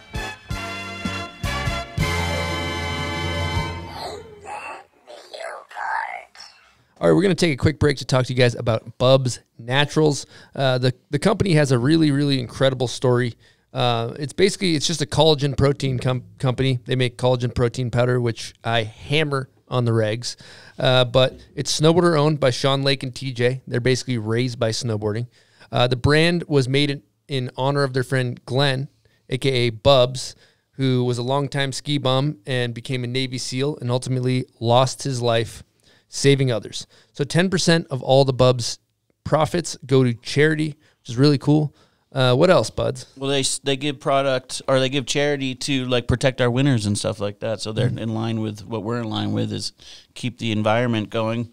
Also, uh, collagen pretty much is the glue that keeps your body together. So I think around in your mid early twenties you start to lose collagen. So you got to start loading up on it if you want to stay out longer days and be less sore. Um, we all take this product. Jeremy Jones pretty much swears by it. Yeah, Jeremy Jones broke both of his legs in an avalanche, and he's in the gym all the time. Huge part of his recovery is Bubs Naturals protein powder. So uh, if you're interested in getting some, head on over to bubsnaturals.com. Use promo code BOMBHOLE to save 20%. Again, bubsnaturals.com, promo code BOMBHOLE. Get you out there boarding longer, getting more days in so you can be like Dave and still be 52 and getting lines in and still getting after it uh, bubsnatural.com, promo code bombhole. Okay, we're going to jump around now. Let's talk about life after pro boarding because we had a long career, did a lot of incredible things, and ultimately found your way back to Burton, but not as a pro. Um, just like, let's just talk about that period of your life. Um, yeah. So, I mean, I I had a, about a 15 year career, something like that as a pro. Um, and you know, I was I had, I started I had kids. Shannon and I had kids. Um, and I talked to Jake. And I'm like, hey, you know, I have a lot to offer to this company and this sport besides just jumping off a cliff. You know, that's basically what I talked about. Um, and he was cool enough and rad enough to believe in me and that I had other other things to offer the sport really in this in the company of Burton. So um, I got into a lot of different parts with Burton, uh, some business development, uh, analog and Gravis and Channel Island surfboards and things like that. Um, and then working in sales and marketing now with uh, Burton North America. So I'm a little more behind the scenes, but I mean that transition. You know, I still love. I love snowboarding. It's part of my life. Um, I know about it. I love it. Um, so that's kind of my story. Yeah, it's you, you certainly have the credibility. Mhm. You know, You pretty much went right from pro or from rep to pro, right? There wasn't much of a transition. Yeah. So Ethan, like instant. that was like, you know, we talked about that in the beginning, but like I was a rep and I understood it. I worked at a snowboard shop, Yeah. like you know, I, and I was a rep. So before I was a pro, so I totally understood that, and Jake knew that, you know, and and really, you know, all through my career, I was really involved with a lot of things like product. I was super involved with the product and the product process and working with product managers. Craig taught me a lot about that, like how to respond to people. He used to like write faxes. You guys probably don't even know what a fax is, but he used to like be at a heli lodge with me and he'd like write these long faxes to like the product managers and stuff. And so being able to communicate my thoughts in my brain to the product um, was something Jake and Craig helped me be more involved in, you know. Um, but then I, I knew the back end, like I knew that people actually buy this stuff. Shops have to actually buy it to sell it to people. Like I knew the process, I know how it works, you know, because I lived it. And so after pro snowboarding, I'm like, hey, I understand this process. Let, let me get involved in it. and a lot of people don't understand that process. Now they Yeah, lose I sight mean, of it, maybe. Well, a lot of pro snowboarders, it's you know when you're a professional snowboarder, you're you're forced to be selfish. Yeah. And you don't even understand that people are buying this stuff. They're like, I just want to look dope, and like I just want it to be like for me. But people actually have to put money on the Yeah. table and like buy this thing, you know. So a lot of the pro snowboarders don't understand that, like the end consumer, like what they really do. You know, it's different than what a pro snowboarder does. Yeah. So Yeah, that's a that's a great topic. And what I think is fascinating is you basically created your own position or multitude of positions, but that's something that's really cool. You kind of carved a little bit of your own lane, would you say? Yeah, like like I was kind of saying, like I was involved in different. So, like product sales and marketing, I think of it very holistically all together. It's not like it's separate. It's like all the same to me. So that's just how I think. Um, so yeah, kind of, you know, I'm contracted by Burton. You know, I'm not like an employee. Like I do offend people that I go in their department or wherever sometimes. And they're like, "Whoa, wait a minute!" Like, but I just want good things to happen you know, for not just for Burton, I want in snowboarding in general. Like I just want people to be stoked on it. I want, um, I want people to be able to go to a resort or go in the backcountry, do whatever they're doing, and have a great day. That's what ultimately I want because that's what I want, and I know if people do that, they're going to be stoked and they're going to have a great day. You know, so that's all I care about. It's interesting because the way you sell products change over the years. You Mhm. know, shops are changing. It's going digital, but that end thing that you just said Mhm. always stays the same. You know, as Mhm. people are having fun, that's important. Yeah, it's the gosh, the the digital thing and the the way things are so different. But I mean, sh- snowboard shops are awesome. Like people want to go in a snowboard shop and try things on and talk to people and um, you know, obviously people buy things online. That's just how it is these days. But um, there's a multiple way of buying products. You Yeah. know? Um, but I think snowboard shops are really important. Yeah, same here. One thing I noticed you guys used to do is, you know, you and Alex had that grass, or I- I don't know if it's still going on, but the grassroots thing where you guys were going around to all the different shops, stoking out everybody. And um, I, I'm just curious, like, how much value do you place on those relationships with people? I, I think what you know I've always tried to do is just kind of keep it real and um, you know whether I'm talking to shop employees or a buyer or whatever it is like or a consumer for that matter is just keep it real you know? Um, especially with Burton like we make a lot of mistakes at Burton like oh my gosh it's crazy but I'm trying to keep it real and keep the sport real too at the same time. Um, but relationships are, are important. Um, obviously I know I have a history in snowboarding and in the sport. Um, you know, I, I love talking to people that are just getting into it. Like I love it because I want them to like not go through what I had to go through. You know, like I want them to like learn quicker, uh, have a great, better day. Like their hands not be cold. Like all all these things that I had to learn.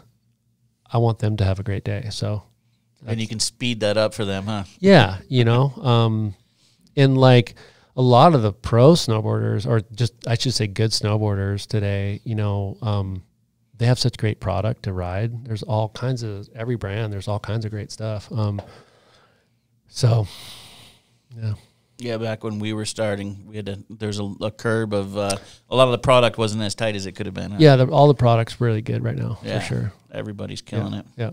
Now, do you have any advice for people that let's say they're you know, they want to be a pro snowboarder, but maybe they're like, ah, I just I can't do cab tens or maybe or whatever like advice for getting a job Mhm. within the industry or Mhm. paving your own lane Mhm. for that matter.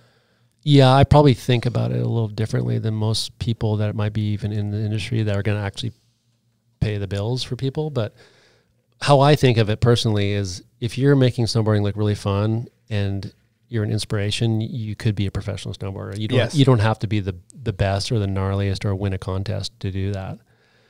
So I think you could be marketable and you can sell product and be a good representative of the sport if you're that way, you know? So, um, I think there's a lot of avenues you could go, you know, Mhm. I mean, like you were saying before, there's so many different avenues now of in snowboarding to be a professional. Um, and this whole social media thing and the whole digital world is so different now. You know, I, I have a hard time wrapping my head around that part, but Mhm. One thing talking to Shannon, she said uh, you look for kind of gaps where there's there's things missing in snowboarding, and you work on that.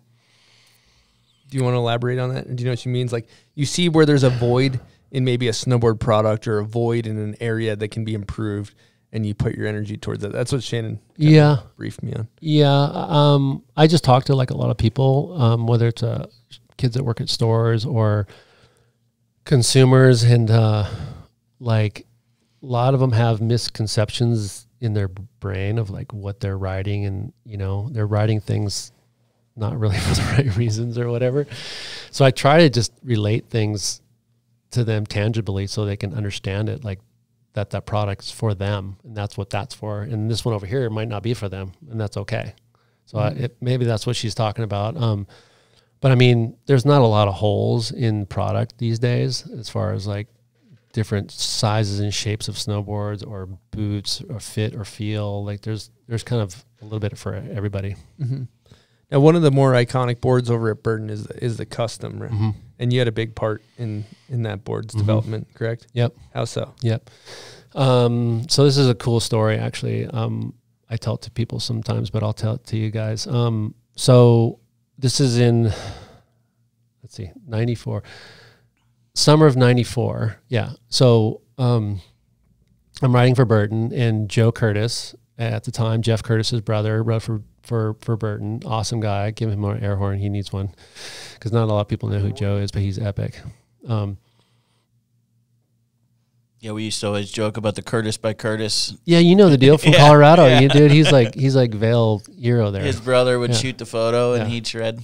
Yeah, you got an air horn for Joe? There you go, Joe. So, anyways, Joe, Joe and I, um, kind of, we were talking to Burton at a meeting, and they had there was pro models back then. So that was pro model heyday, right? this is like everybody has a pro model, and everybody's a pro, and everybody has a pro model. And they're like, dude, Dave, you pro model. I'm like, no, those things are stupid, and blah blah blah. Like, let's let's.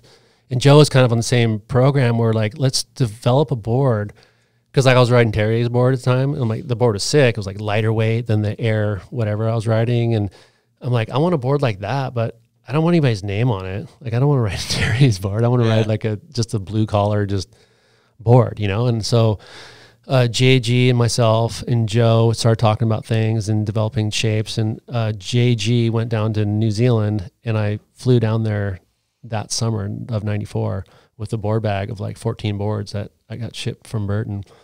And JG actually broke his leg down there in New Zealand, so he's like laid up in the lodge with a broken leg. And I spent like, I think like nine or ten days, like um, just riding a bunch of boards. in New Zealand. And at that time in 95, 94, there was nobody snowboarding down there really. It was so cool. Like so cool. Like people thought I was from another planet. Like I was from California, I'm a snowboarder and they're just like, "Whoa." Like it was so different. Anyways, I come back from that trip with with the shape that I thought was the best, you know, and we um, basically made that board. And that was the year I moved to Utah and started riding at Brighton.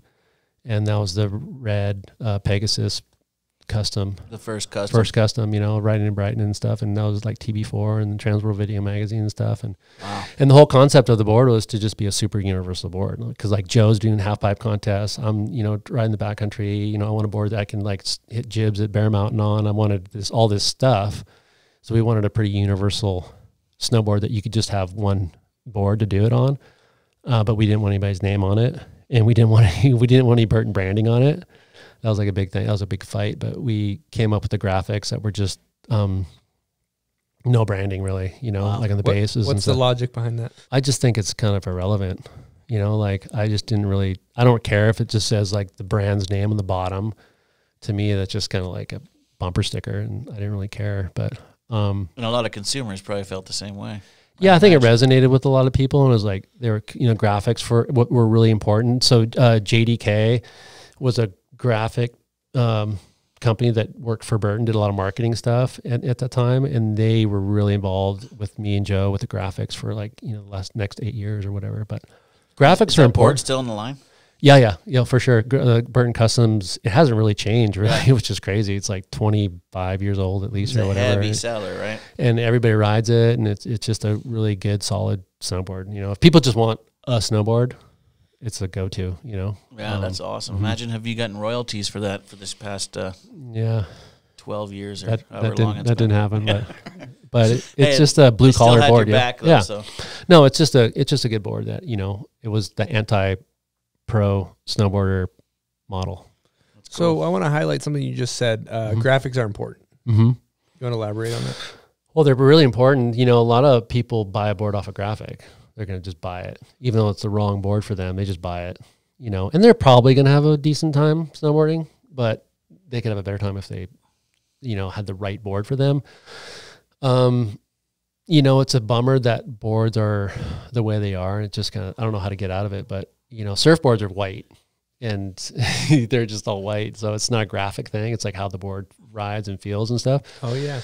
But snowboards are a graphic, and people are like, dude, that board's sick, and I, they look so killer under my arm. I'm just so stoked walking through the parking lot with this They board. You know, like they identify art, with it, yeah. right? And it's a graphic thing, you know. Um, I, I find a, a lot of um, women really buy a board for sure off a graphic. You know, a lot of times when I'm in a store, or whatever, I'm talking to a woman that's looking at a board, I just go, which one do you like? You know, and and I make her kind of pick out the one. She, I love this one. I'm like, okay, now tell me what you do in snowboarding how do you snowboard? What do you? What's your favorite day? What, what do you have a board now? I ask her all these questions, and I'm like, oh, that board will work for you, or I'm like, no, that board's going to kick your ass. Yeah. You know, so but the graphic is a big deal. It's still even a big deal for me. You know, like for for somebody who's been in it for a long time. Like I want a board that looks good. I don't want to walk, Yeah. walk around with a board that looks like lame. You know, so yeah, if the graphic sucks, you're gonna Yeah, graphics are wanna important. ride Yeah. I'm really curious about this because with with Salomon, we Mm-hmm. Like would always I did graphics for a number of years with boards, and Yeah. and there would always be the same argument with the custom. Yeah. my logic was. And maybe this is niche. Because skateboarder Mhm. skateboards are a smaller purchase. You buy more of them. It's Mhm. not. It's more disposable Mhm. than a snowboard, so there's more at stake. It's more expensive. Mhm. But there'd be this constant argument where I'd be like, I want this kind of cool hand drawn base graphic that looks like a Mm-hmm. skateboard that doesn't look as maybe corporate would be a word I'd Mhm. use. Mhm. And then the, the the argument of like, well, no, it needs to say it needs to say Salomon in big Mhm. letters. Now then that comes from the reps and the sales team. And just out of curiosity, sheer curiosity, like Mm-hmm. why is that? it's the brand, you know. So like, it's not your company. Yeah, right? it's right. like it's like Burns not my company. So if they make decisions, it's not my, it's not my company. It's not my name on the thing. So Yes. if I wanted to make those ultimate decisions, I would have to start a company. Yes. If I needed to do that, so it kind of goes in hand in hand, you know, with you or, or with any graphic or whatever. Um, but I think a smart company would like listen to snowboarders and, and listen to them, you know, and uh, sometimes you got to just go with it. And especially a pro model, it's like it's your name on it. Dude. If you don't want to make any money, then like cool. Put your put whatever on it. It's not going to sell, but well, know. there's there's this funny there's this funny dynamic in behind the scenes with almost every snowboard company Totally. where there's marketing and Totally. sales, Totally. and sales wants what's safe Yep. because they know like okay this graphic is I'll definitely sell, and marketing I almost feel like doesn't it's more of like emotional or maybe like Mm-hmm. it's more like I think this is gonna hit, but you don't know. So there's that always that Mm-hmm. For sure. that pull and, and for sure. push right. Sales are a lot, a lot of times they're they're looking in the past. They're like, yeah, Yes. this sold before. Mhm. Hey, let's ask the retailers what's going to sell, and so they're looking at what's sold. But the product people are looking three years out. So like it's a, it's a really hard dynamic. Salespeople most of the time are looking in the past, and then product people are looking in the future. So that's kind of what I said. When I think of snowboarding, I think of it holistically. Product sales and marketing, it's all one thing. And you got to look out and you got to look back and you got to look in the present. And you kind of got to tie it all together, you know? Well, it's funny with you say with graphics and base graphics, like the top five board brands all have very identical, identi- like easy to identify Mhm. base graphics, and Mhm. you can identify which brand they are, Mhm. from. Burton to Mhm. Salomon to Yep. Never Summer to Capita. And then it's, you know, comes and down- that big graphic, and it's Yep. like you know that's a Burton, you know this is a Capita. Well, with contests in the Olympics and a lot of things, it's like there's straight up like you want your name on the like even Jake. Yeah. That, I remember him just going, dude, if my board's on the podium at the Olympics, You want your it name. needs to say my middle name on it, dude. yeah, Right? And I understand that. Yeah, I totally sense. get it. Like you know, so that's important to have your brand name on it. you It's know? the only thing in the Olympics you can also even get Mhm. a Yeah, logo on. Yeah, right? get the outer totally, totally. So that's important for sure. Uh, let's talk about your best story with Jake Burton because I know you spent some time together. definitely this one time we we're we we're at a sales meeting and uh, I was in New Zealand and I don't I forget the year but we're we're in New Zealand at a sales meeting and I remember he came up to me kind of with me and he's like hey dude do you want to go surfing tomorrow? The waves are gonna be good. I'm like yeah what are you talking about? He's like I'll, I'll, I'll arrange everything. You know I go I don't have a wetsuit or board. He's like I got it I got it I, I got it you know? I'm like okay cool. So we meet the next morning like 7 a.m go around the back and there's a helicopter there with like dude, seriously, we strap snowboards to one side of the helicopter, strap snowboards to the other side of the helicopter, and we get in this helicopter. And it was me and Wes, who's a uh, was the rep at the time in Australia, and Jake, and we fly, dude, we fly like thirty minutes in New Zealand through this river valley, and we end up on this beach, dude. And there's this huge bay, and there's nobody around for like 50, 60 miles or something, and the waves are going off. It's like eight foot, ten foot. So I'm like, oh my gosh, are you kidding me? and we end up surfing for like two hours. It was insane, just the three of us. Nobody else around. The heli's like on the beach on these rocks and stuff, and we're like, this is crazy. I remember Jake broke his leash and he got worked. And anyways, we we were on the beach like, this is insane. And and uh, and we like. We literally take our wetsuits off, we're changing, and we eat like a sandwich, and okay, let's, let's go snowboarding now. I'm like, really? He's like, yeah. And we fly up the beach, dude. Seriously, this is real. In a helicopter along the beach for like like 45 minutes up to near Wanaka. And then we go up in the mountains and we landed in this thing and we change our clothes and our snowboarding gear. And we went and took like six heli runs, dude, in, in the sickest conditions. It was epic. It was like sunny. We were just riding like, and then, uh, and then we're flying back along the mountain range back to, uh, where we were staying for the sales meeting in, uh, Queenstown and we're flying along the mountain range and Jake's got headphones on like this and he's like, Hey, he like tells the heli pilot, like, Hey, I gotta take a piss. And so like the guy like lands on this peak, like a knife edge peak and Jake gets out. And I remember me and Wes are just in the heli going, This is crazy. Jake gets out and walks away. You know, it's the sun's going down and Jake's just peeing, dude. I'm like, Is this for real, dude? And then and he gets back in the heli, he's like puts his headphones on, like, Oh, that was the best piss I've ever had in my life. and we we just fly to the sales meeting. I mean, was everyone else in the sales? yeah, they didn't know what time? happened. They, Yeah. they were like, "Where's Jake? Where's Jake, dude?" Like, you know, like You guys just got shoulder tap to go. He does. He did that a lot, and that was one of the best shoulder taps for sure. Wow. But he was really into that, like shoulder tap, like Yeah, hey, like hey, pick certain like, people and- you know, like and uh, off. yeah, yeah, yeah, totally, totally. But he, um, that's how he lived his, his life. You know, was um, was like that, and, and his generosity. So. That's killer. and Mm-hmm. it's it's uh, it's pretty cool to see his legacy with the Burton Burton boards everywhere.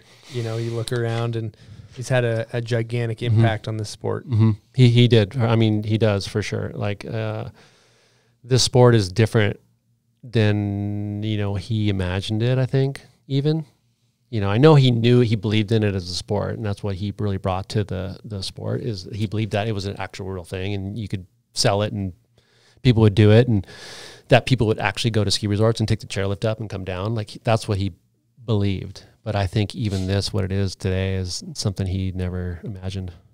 Yeah, that's cool to think about. hmm for sure.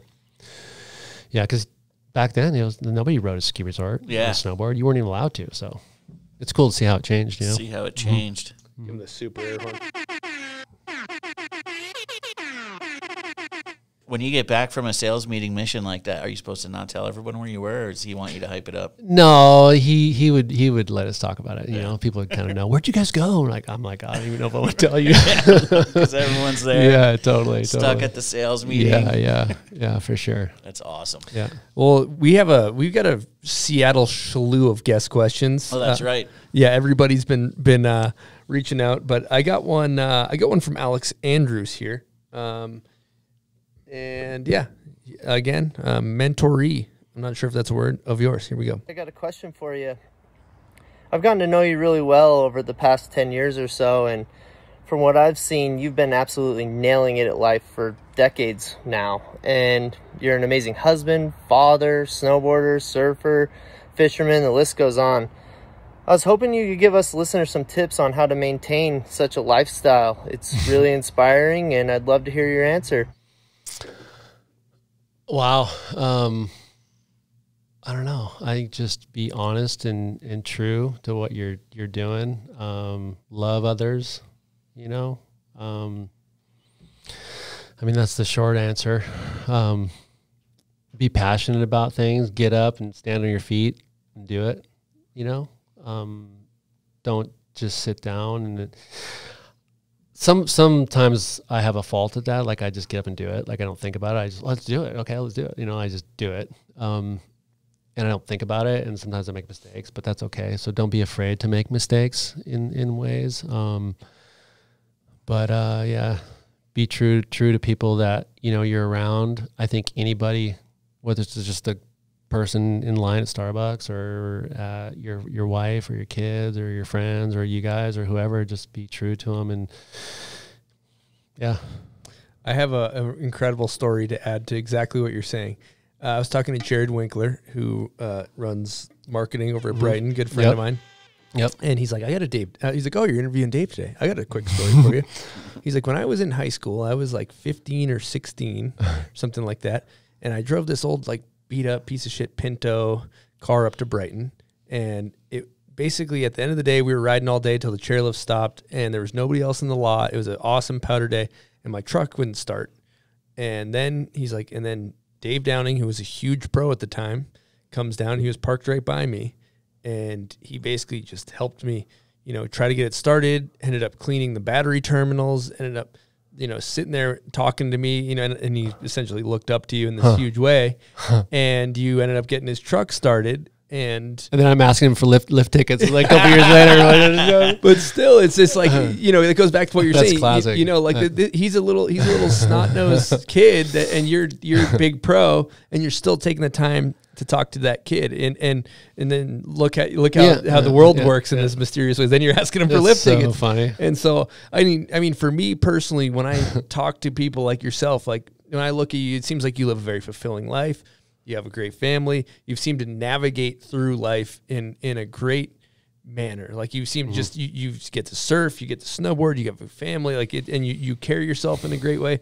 And like when I talk to you, like I want to know what Alex is asking. Like I'm the same way. I Mhm. want to deconstruct and know like what types of things in your life um, lead help you lead a fulfilling life more so than just what tricks you did on the board, but how you know things that are important to you and things like that. Yeah, yeah, yeah. I mean, I believe in the Bible, you know, so I I get a lot of it from reading the Bible. So Yeah. a lot of the ways I conduct myself come from from that, you know. Mhm. Um, but it's it's loving others and um, and doing the right thing. Like really, it's do the right thing. Like Yeah. whether it's should I drive away from some kid at Brighton that has his car not working and just leave him there, Mhm. or I do would I hope not, or- right? or, do I go over and go, yo, dude, I don't know what to do, and let's figure it out, you know? So Yep. It kind of comes down to that, you know, just kind of do the right thing. Yeah. I don't know. and Um, and then going back to that life is also like so much. It's about relationships. It's Mhm. about who you know. It's about Mhm. connections.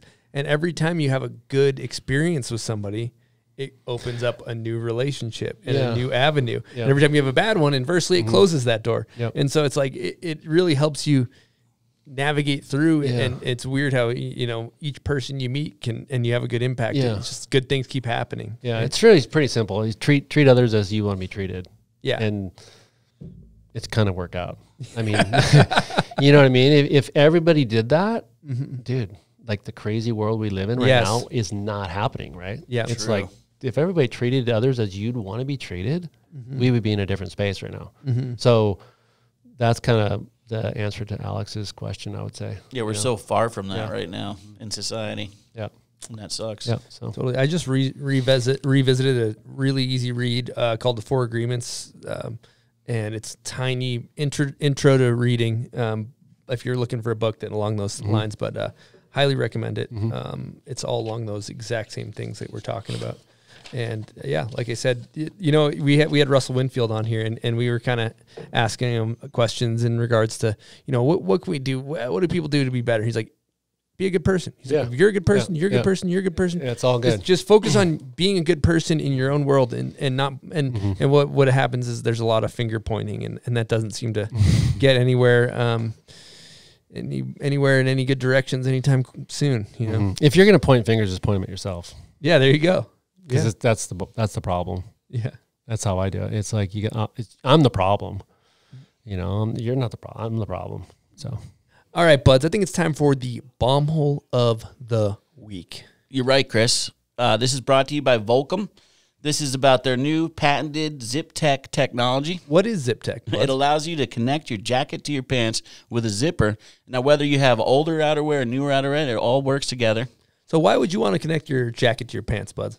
Whether you're pro like Pat Moore or a novice like me, you're going to be out there getting snow into your jacket and pants unless you have this Zip Tech technology. It could go up your butt crack too. It could go or up your, your butt crack, genitals, down your, your butt crack. genitals. Yeah, e- either way. Yeah. The uh, the good thing about this, it works with men's, women's, and youth outerwear, and it's patented, and it uh, basically keeps you dry out there and out longer. Keep the elements out of your pantalones is what you're getting at. That's basically what so I'm what ki- what kind of giveaway we got going on here? We have a uh, Volcom and bomb hole giveaway. The hashtag is Volcom Bombproof. Also tag at the bomb hole and vo- at Volcom Snow.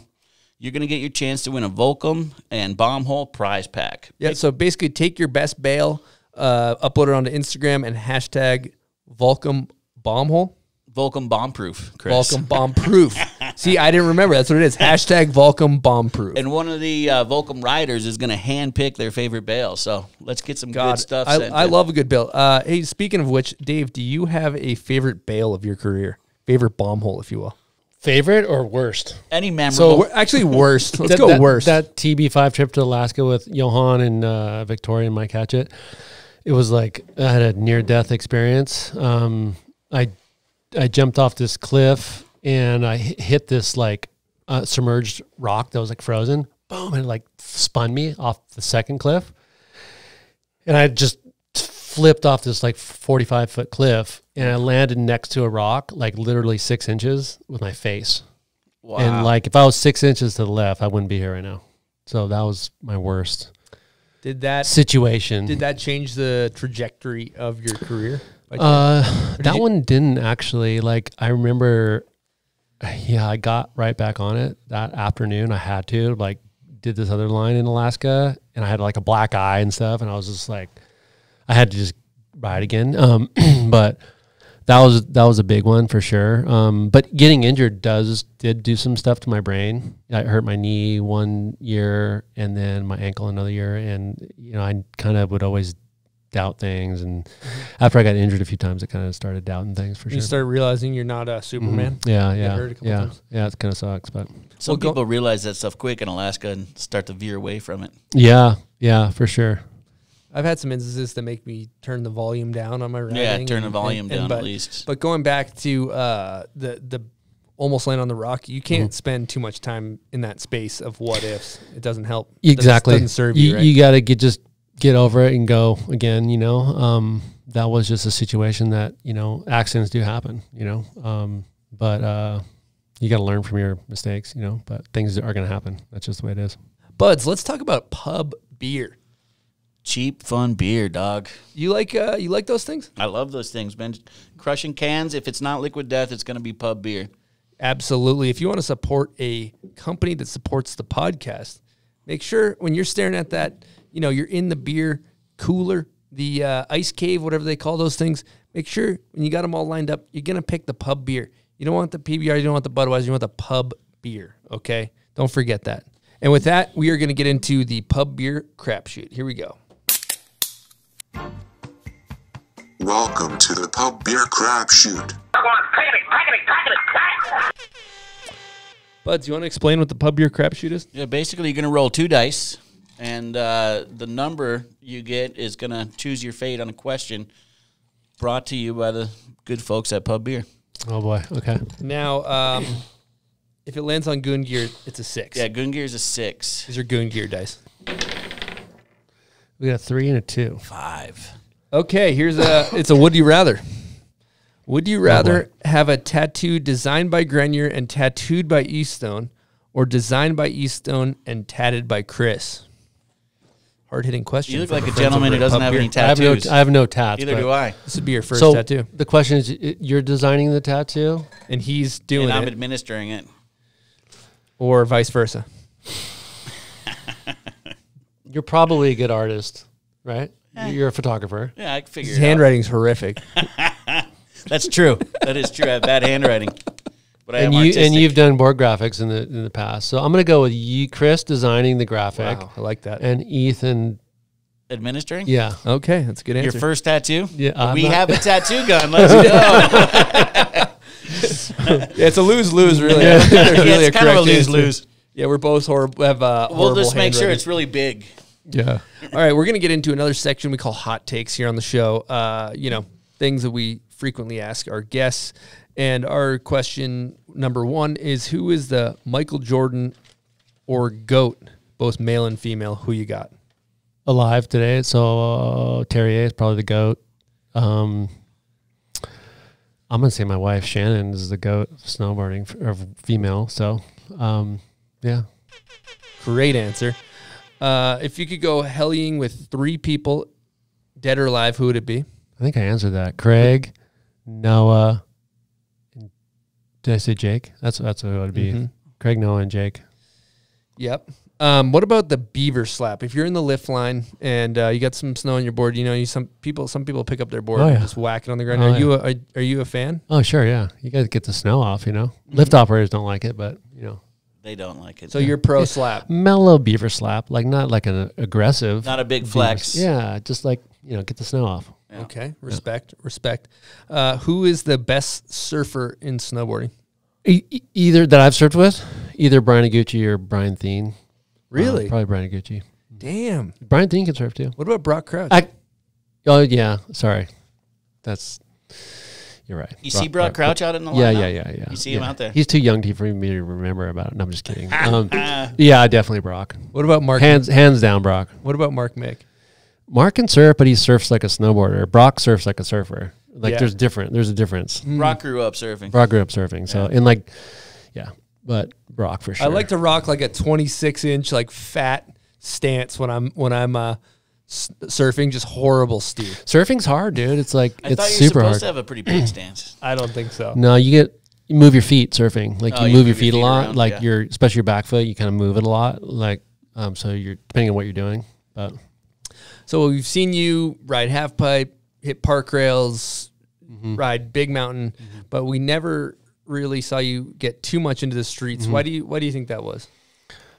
oh, probably because I was scared shitless, you know. like um, but and, and also it was a little weird to me, but like I I like it, and I was like inspired by it a lot, and like I have the utmost respect for people that do that.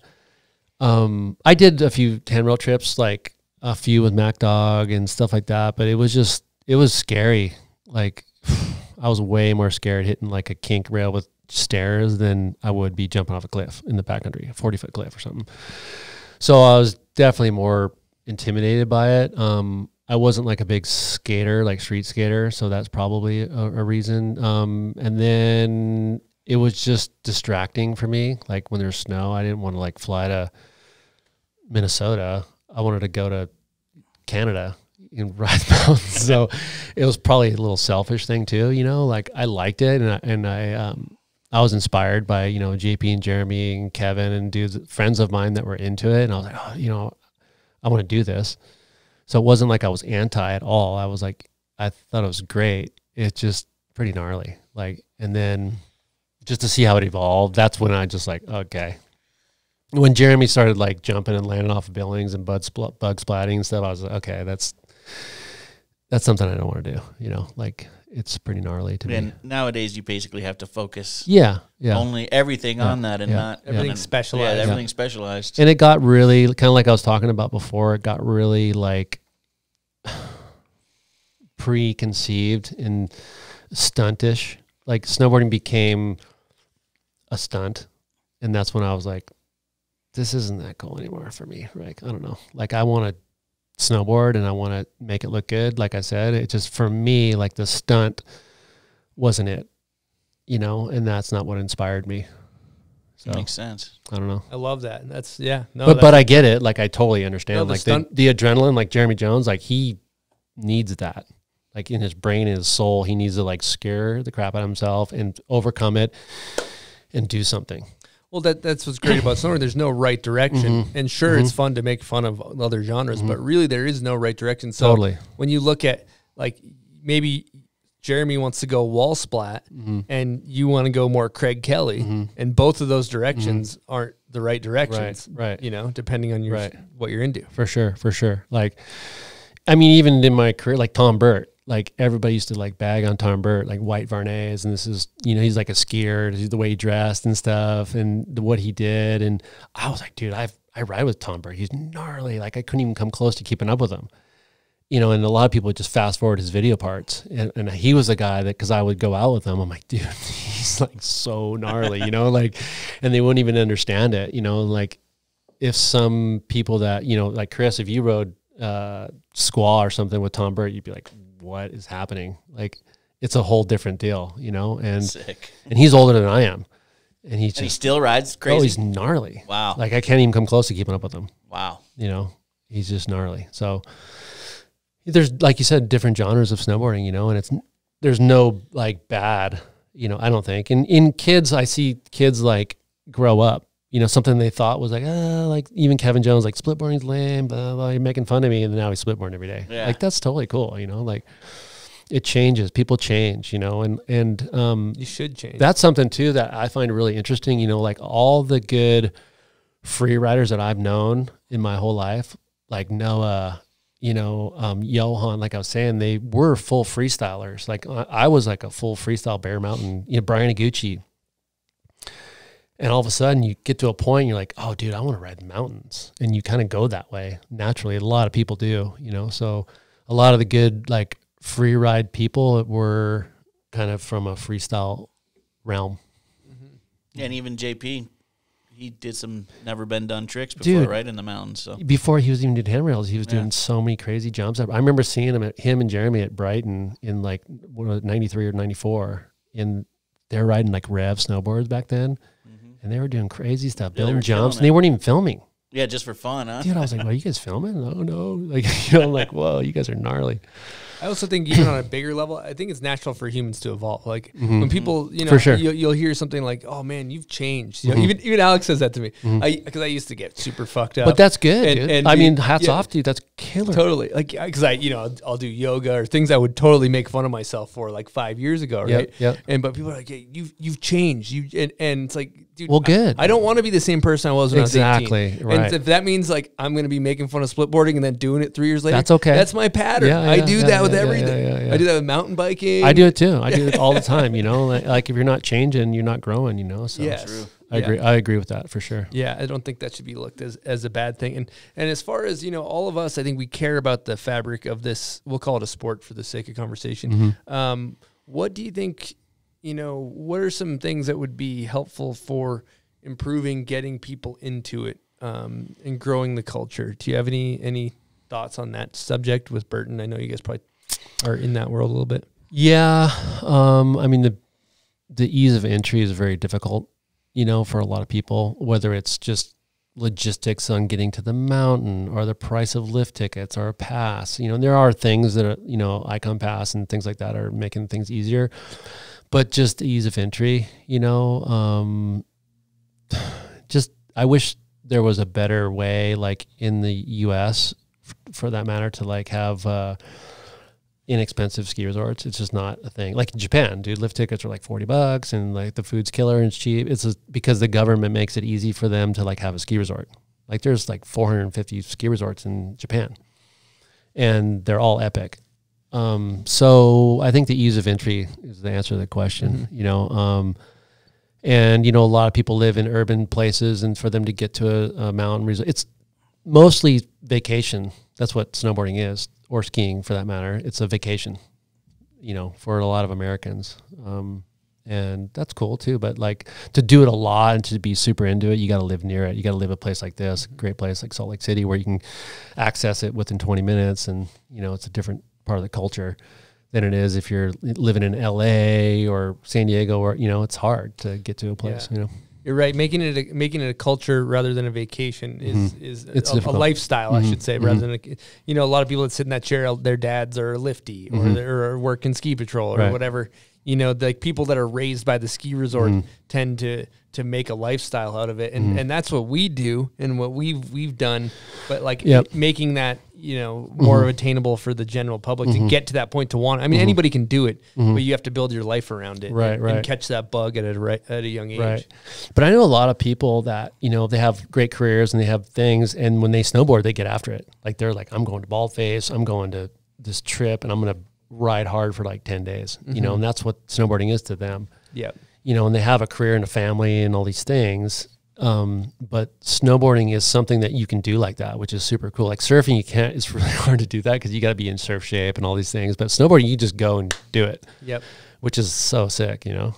I didn't realize that about Japan too. What you were saying about cheap lift tickets and accessibility. Yeah, it's so sick. And there's a crazy stat. So like Japan's like roughly the size of California, right? Yeah. And there's more ski resorts in Japan than there is in all of North America. That's crazy. So imagine that. Including Canada. Including Ca- So imagine all the ski resorts in Canada and the United States put into California. That is crazy stat. Well, they get and they get That's pretty nuts. Yeah, Yeah. They get so much snow there too. It makes it makes sense. And Yeah. But the, the other thing to think about too is like from a you know mental health standpoint. Mhm. If you're if you live in an area that gets a shitload of snow Mhm. and you don't fucking play hockey or ski or Mhm. snowboard or do have have a winter sport activity like your hard. odds of getting depressed have to be so much mm. goddamn higher like Yeah, you know hard. it's it's like just a, it's almost from from a from a human just happiness standpoint Yeah. And it's a complex conversation because it's so expensive. Yeah. And so you, it's easy to say when you have money in your bank account, like, yeah, just go snowboard. Not not everybody. But has in the those. in the Midwest and stuff, it's you know it, it doesn't cost that much, and you can go you know ride for 30, 40 minutes, or an hour or two after work or whatever. Like in the mountains aren't that big, but at least you can go take some laps and like you said, get some fresh air and have a good day. Mm-hmm. Yeah, full mind shi mindset Yeah. shift. You're Yeah, having a bad mindset day. You get up in the mountains. You go on. Even you get ride some rails on a rope tow. Boom. Okay, well, let's transition into uh, one thing we always like to ask our guests is uh, what setup snowboard are you currently riding? Um, our audience loves to know, you know, what what you ride, what you'd recommend to ride, what your setup is, angles, how you set up your board, all that good stuff. hmm Um, right now, Yeah. like I, I have a few different boards and stuff, but um, are you a quiver guy? I'm a full quiver guy. For You believe in the quiver. Oh, he's a I'm quiver. Some people quiver don't guy. believe in the quiver. Yeah, I used to like not because there wasn't such a real thing, you know. That's why the custom was what it was, right? It was like I wanted one board to do everything, um, and I rode different sizes and stuff for different occasions. Mm-hmm. Um, like I would ride like a 52 custom on like jibs and stuff, and then I'd ride a 58 or 62 in the backcountry kind of thing. But the 50 or the 62 custom. Yeah, Yeah. yeah. But now I ride, you know, a lot of like tapered boards. Like my favorite board, if you is a, it's called a Power Wrench, and it's fifty. It's a one fifty two, and I would take that anywhere in the world and ride. I'd take it to Alaska, take it to anywhere. So, and that's a fifty two, but it has twenty millimeters of taper. It's like a a shaped board, but I have the most fun on that board. You know, for for me, It's probably um, way in the back seat, huh? It's a shorter tail for sure. It's tapered, so you know it has a wider nose and tail. So the nose floats and the nose tail floats. sinks. Tapered boards for people that are listening. It's it's the the width in the front of the board is wider than the tail, so naturally it's going to float in powder And turn and turn easy. well. It enters and exit a turn like I was talking about really easy because it's it's wider as you enter and you exit on the tail. It just feels good, you know. Yeah, when those came out, they just changed Yeah. life for me Yeah. with a big backpack. For sure, know? right? You carrying stuff, and it just made it more comfortable and easy to ride powder, and that's what I like to do. Um, but I like shaped boards. You know, I, I like directional. I rarely ride a twin anymore. If I go to Bear with my kids, I'll ride a twin or something like that. But I'm not like getting crazy on rails anymore. Um, but I don't ride twins hardly at all. I ride mostly directional boards. Um, my stance, um, it's 23 inches, 18 in the front. It's always been 18 in the front. I ride positive three in the back. Oh, posy, posy guy. Mm-hmm. Posy, posy. Yeah, for sure. I, I can't really turn without that. If I have a duck stance, I can't really turn, especially heel turn or in the steeps or anything. So I've always just kind of rode positive. I sometimes I would ride like negative three or something like that. uh, like That's on what I do, At Bear Mountain, three. you know, I'd either be negative three on, on like a full like jib board kind of thing, or I'd be like positive three. Um, yeah, and I've been riding no straps for like over over four years. I ride that step on system with Burton. Oh, you do? I really enjoy it. Yeah, yeah. Um, forward lean. Yep. I You ride can for- you can forward do lean. forward lean on the step-ons. Yep. Yep. Okay, because it's built into the high back. Yeah, it's just in the high back. There's two little screws. Oh, you just kind of like, you know. You guys call it strapless now, huh? Can- yeah, I don't know what they call it. it's, it's it's step on, but it's strapless. It's uh, uh, yeah, I, I like it. It's comfortable. You It's want to got a lot of explain what it is to the people that It's just a, it a binding system that doesn't have straps.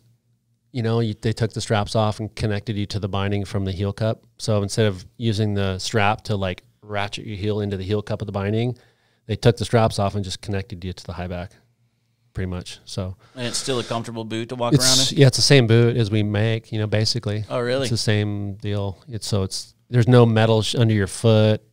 It's it's pretty killer. Like I didn't think I'd be riding it. Does dude. Jeremy Like, Jones give you shit for riding that? Everybody gives me shit, but, um, but but like I like it. It just you know like I don't know. Like I, I rode the step in stuff like in the '90s and had to deal with that stuff, and it was Mhm. horrible because you were attached under your foot and you're trying to like turn a snowboard being attached under the bottom of your Mhm. foot, and it just didn't work. You know. But then once they attached you to the high back and like the way it is, it's just like there's so much power and for what I like to do, you know, Responsiveness, yeah. like freestyle kids probably wouldn't like it if you're just like spinning cab nines upside down and getting crazy because you want like a 360 degree like looser feel. Yeah.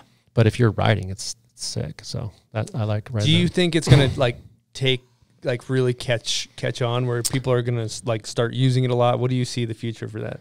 It's a good. question. I mean, it already is. Like it's it's it's sells really well. So Oh, it's, it's already it. caught on. Okay. You know, but um, I see it growing for sure. You know, other brands doing it and stuff like that. As you get Definitely. older, it's harder just to strap in. And when I see, when I see people learn on it, dude, it's just like, oh my Yeah. god, like it's cheating c- when you're learning because you don't have to sit down and strap. Like you see people like sitting there, and you know you've seen it. They can't It's- figure out how to get up It properly. just sucks, dude. Like, Yeah. but they don't. People that learn, you just get off the chairlift and go over there and just put your foot in it and go down. And it's on. So it's pretty easy to learn, you know. So good a good thing for barrier to entry. the Yeah. that ease of entry, that's a big part of it for sure. Good for ease of entry, bad because you're gonna get made fun of by your Jamie tour Thomas friends. rocks it. Oh, he does. Does he? Yeah. Remember, he came on and was Yeah. talking about Yeah. Yeah. how Jeremy makes fun of him, but he doesn't care because he can just keep up with his kids and strap in fast. Yeah, yeah, totally. Doesn't have to sit there Yeah. and figure shit out. Jeremy makes fun of me in anything I do, so it's like Ah, That's a good I'm- friend. That's I'm, what a good, I'm that's used what to good it. friend- That's I'm what good used it. friends do. They good friends do it to right to your face. I'm used to it. Um, okay, well, I think it's been a great. I got one quick Patreon Yeah. question Hit that I think Hit a lot it. of people might want to hear. This Hit is it. from Andy Hotling. hmm What's your advice to continue to push yourself and enjoy riding at a high level as we get older? like I think I can snowboard till I'm pretty old, you know, 80 or whatever. Um, if your mind and your, if you keep your body in shape, doing what working out, doing another sport is, and then when you snowboard, um, stretch, you know, ride a bike, flush the lactic acid out of your system, things like that. But um, you can get better at snowboarding, kind of like I was saying. Just because you're older, that doesn't. Snowboarding doesn't need to be spinning and jumping onto rails. That's what I'm saying. Yeah. Like good snowboarding can be done on a groomed run or in powder or whatever you want it to be. You know, so it doesn't have to end. Um, just because you're older, I'm 53, you know, and I love snowboarding. Like I can't snowboard 30 days in a row without a break. You know, I'm buckled, but I still love it. You know, I still ride a lot. You know, like last year was so epic. Like I had a great year. You know, I rode a lot in Tahoe. Super stoked. So Yeah, I always feel like powder's like riding a bike. You never really lose that, but jumping it just Yeah. gets farther away. Yeah. grabs get harder, spins yeah, get harder. yeah, yeah, totally. But why grab your board? You're attached to it, so like There you go. You know, We're going You don't need MFM to over grab here. it, yeah. yeah. I mean, Yeah. it's fun. It feels good to grab your board though. But Sick. Well, that's a money answer. Uh, do you have any thank yous you want to hit before we wrap this thing up? Oh no, just thank you guys and thanks for you know representing snowboarding in a great way and uh, keeping it real. Love it. Much appreciated, Dave. And thank you guys for listening, supporting the bomb hold to all our Patreon members, all of our sponsors. Thank you guys so much. We will see you next week over and out from the bomb hole.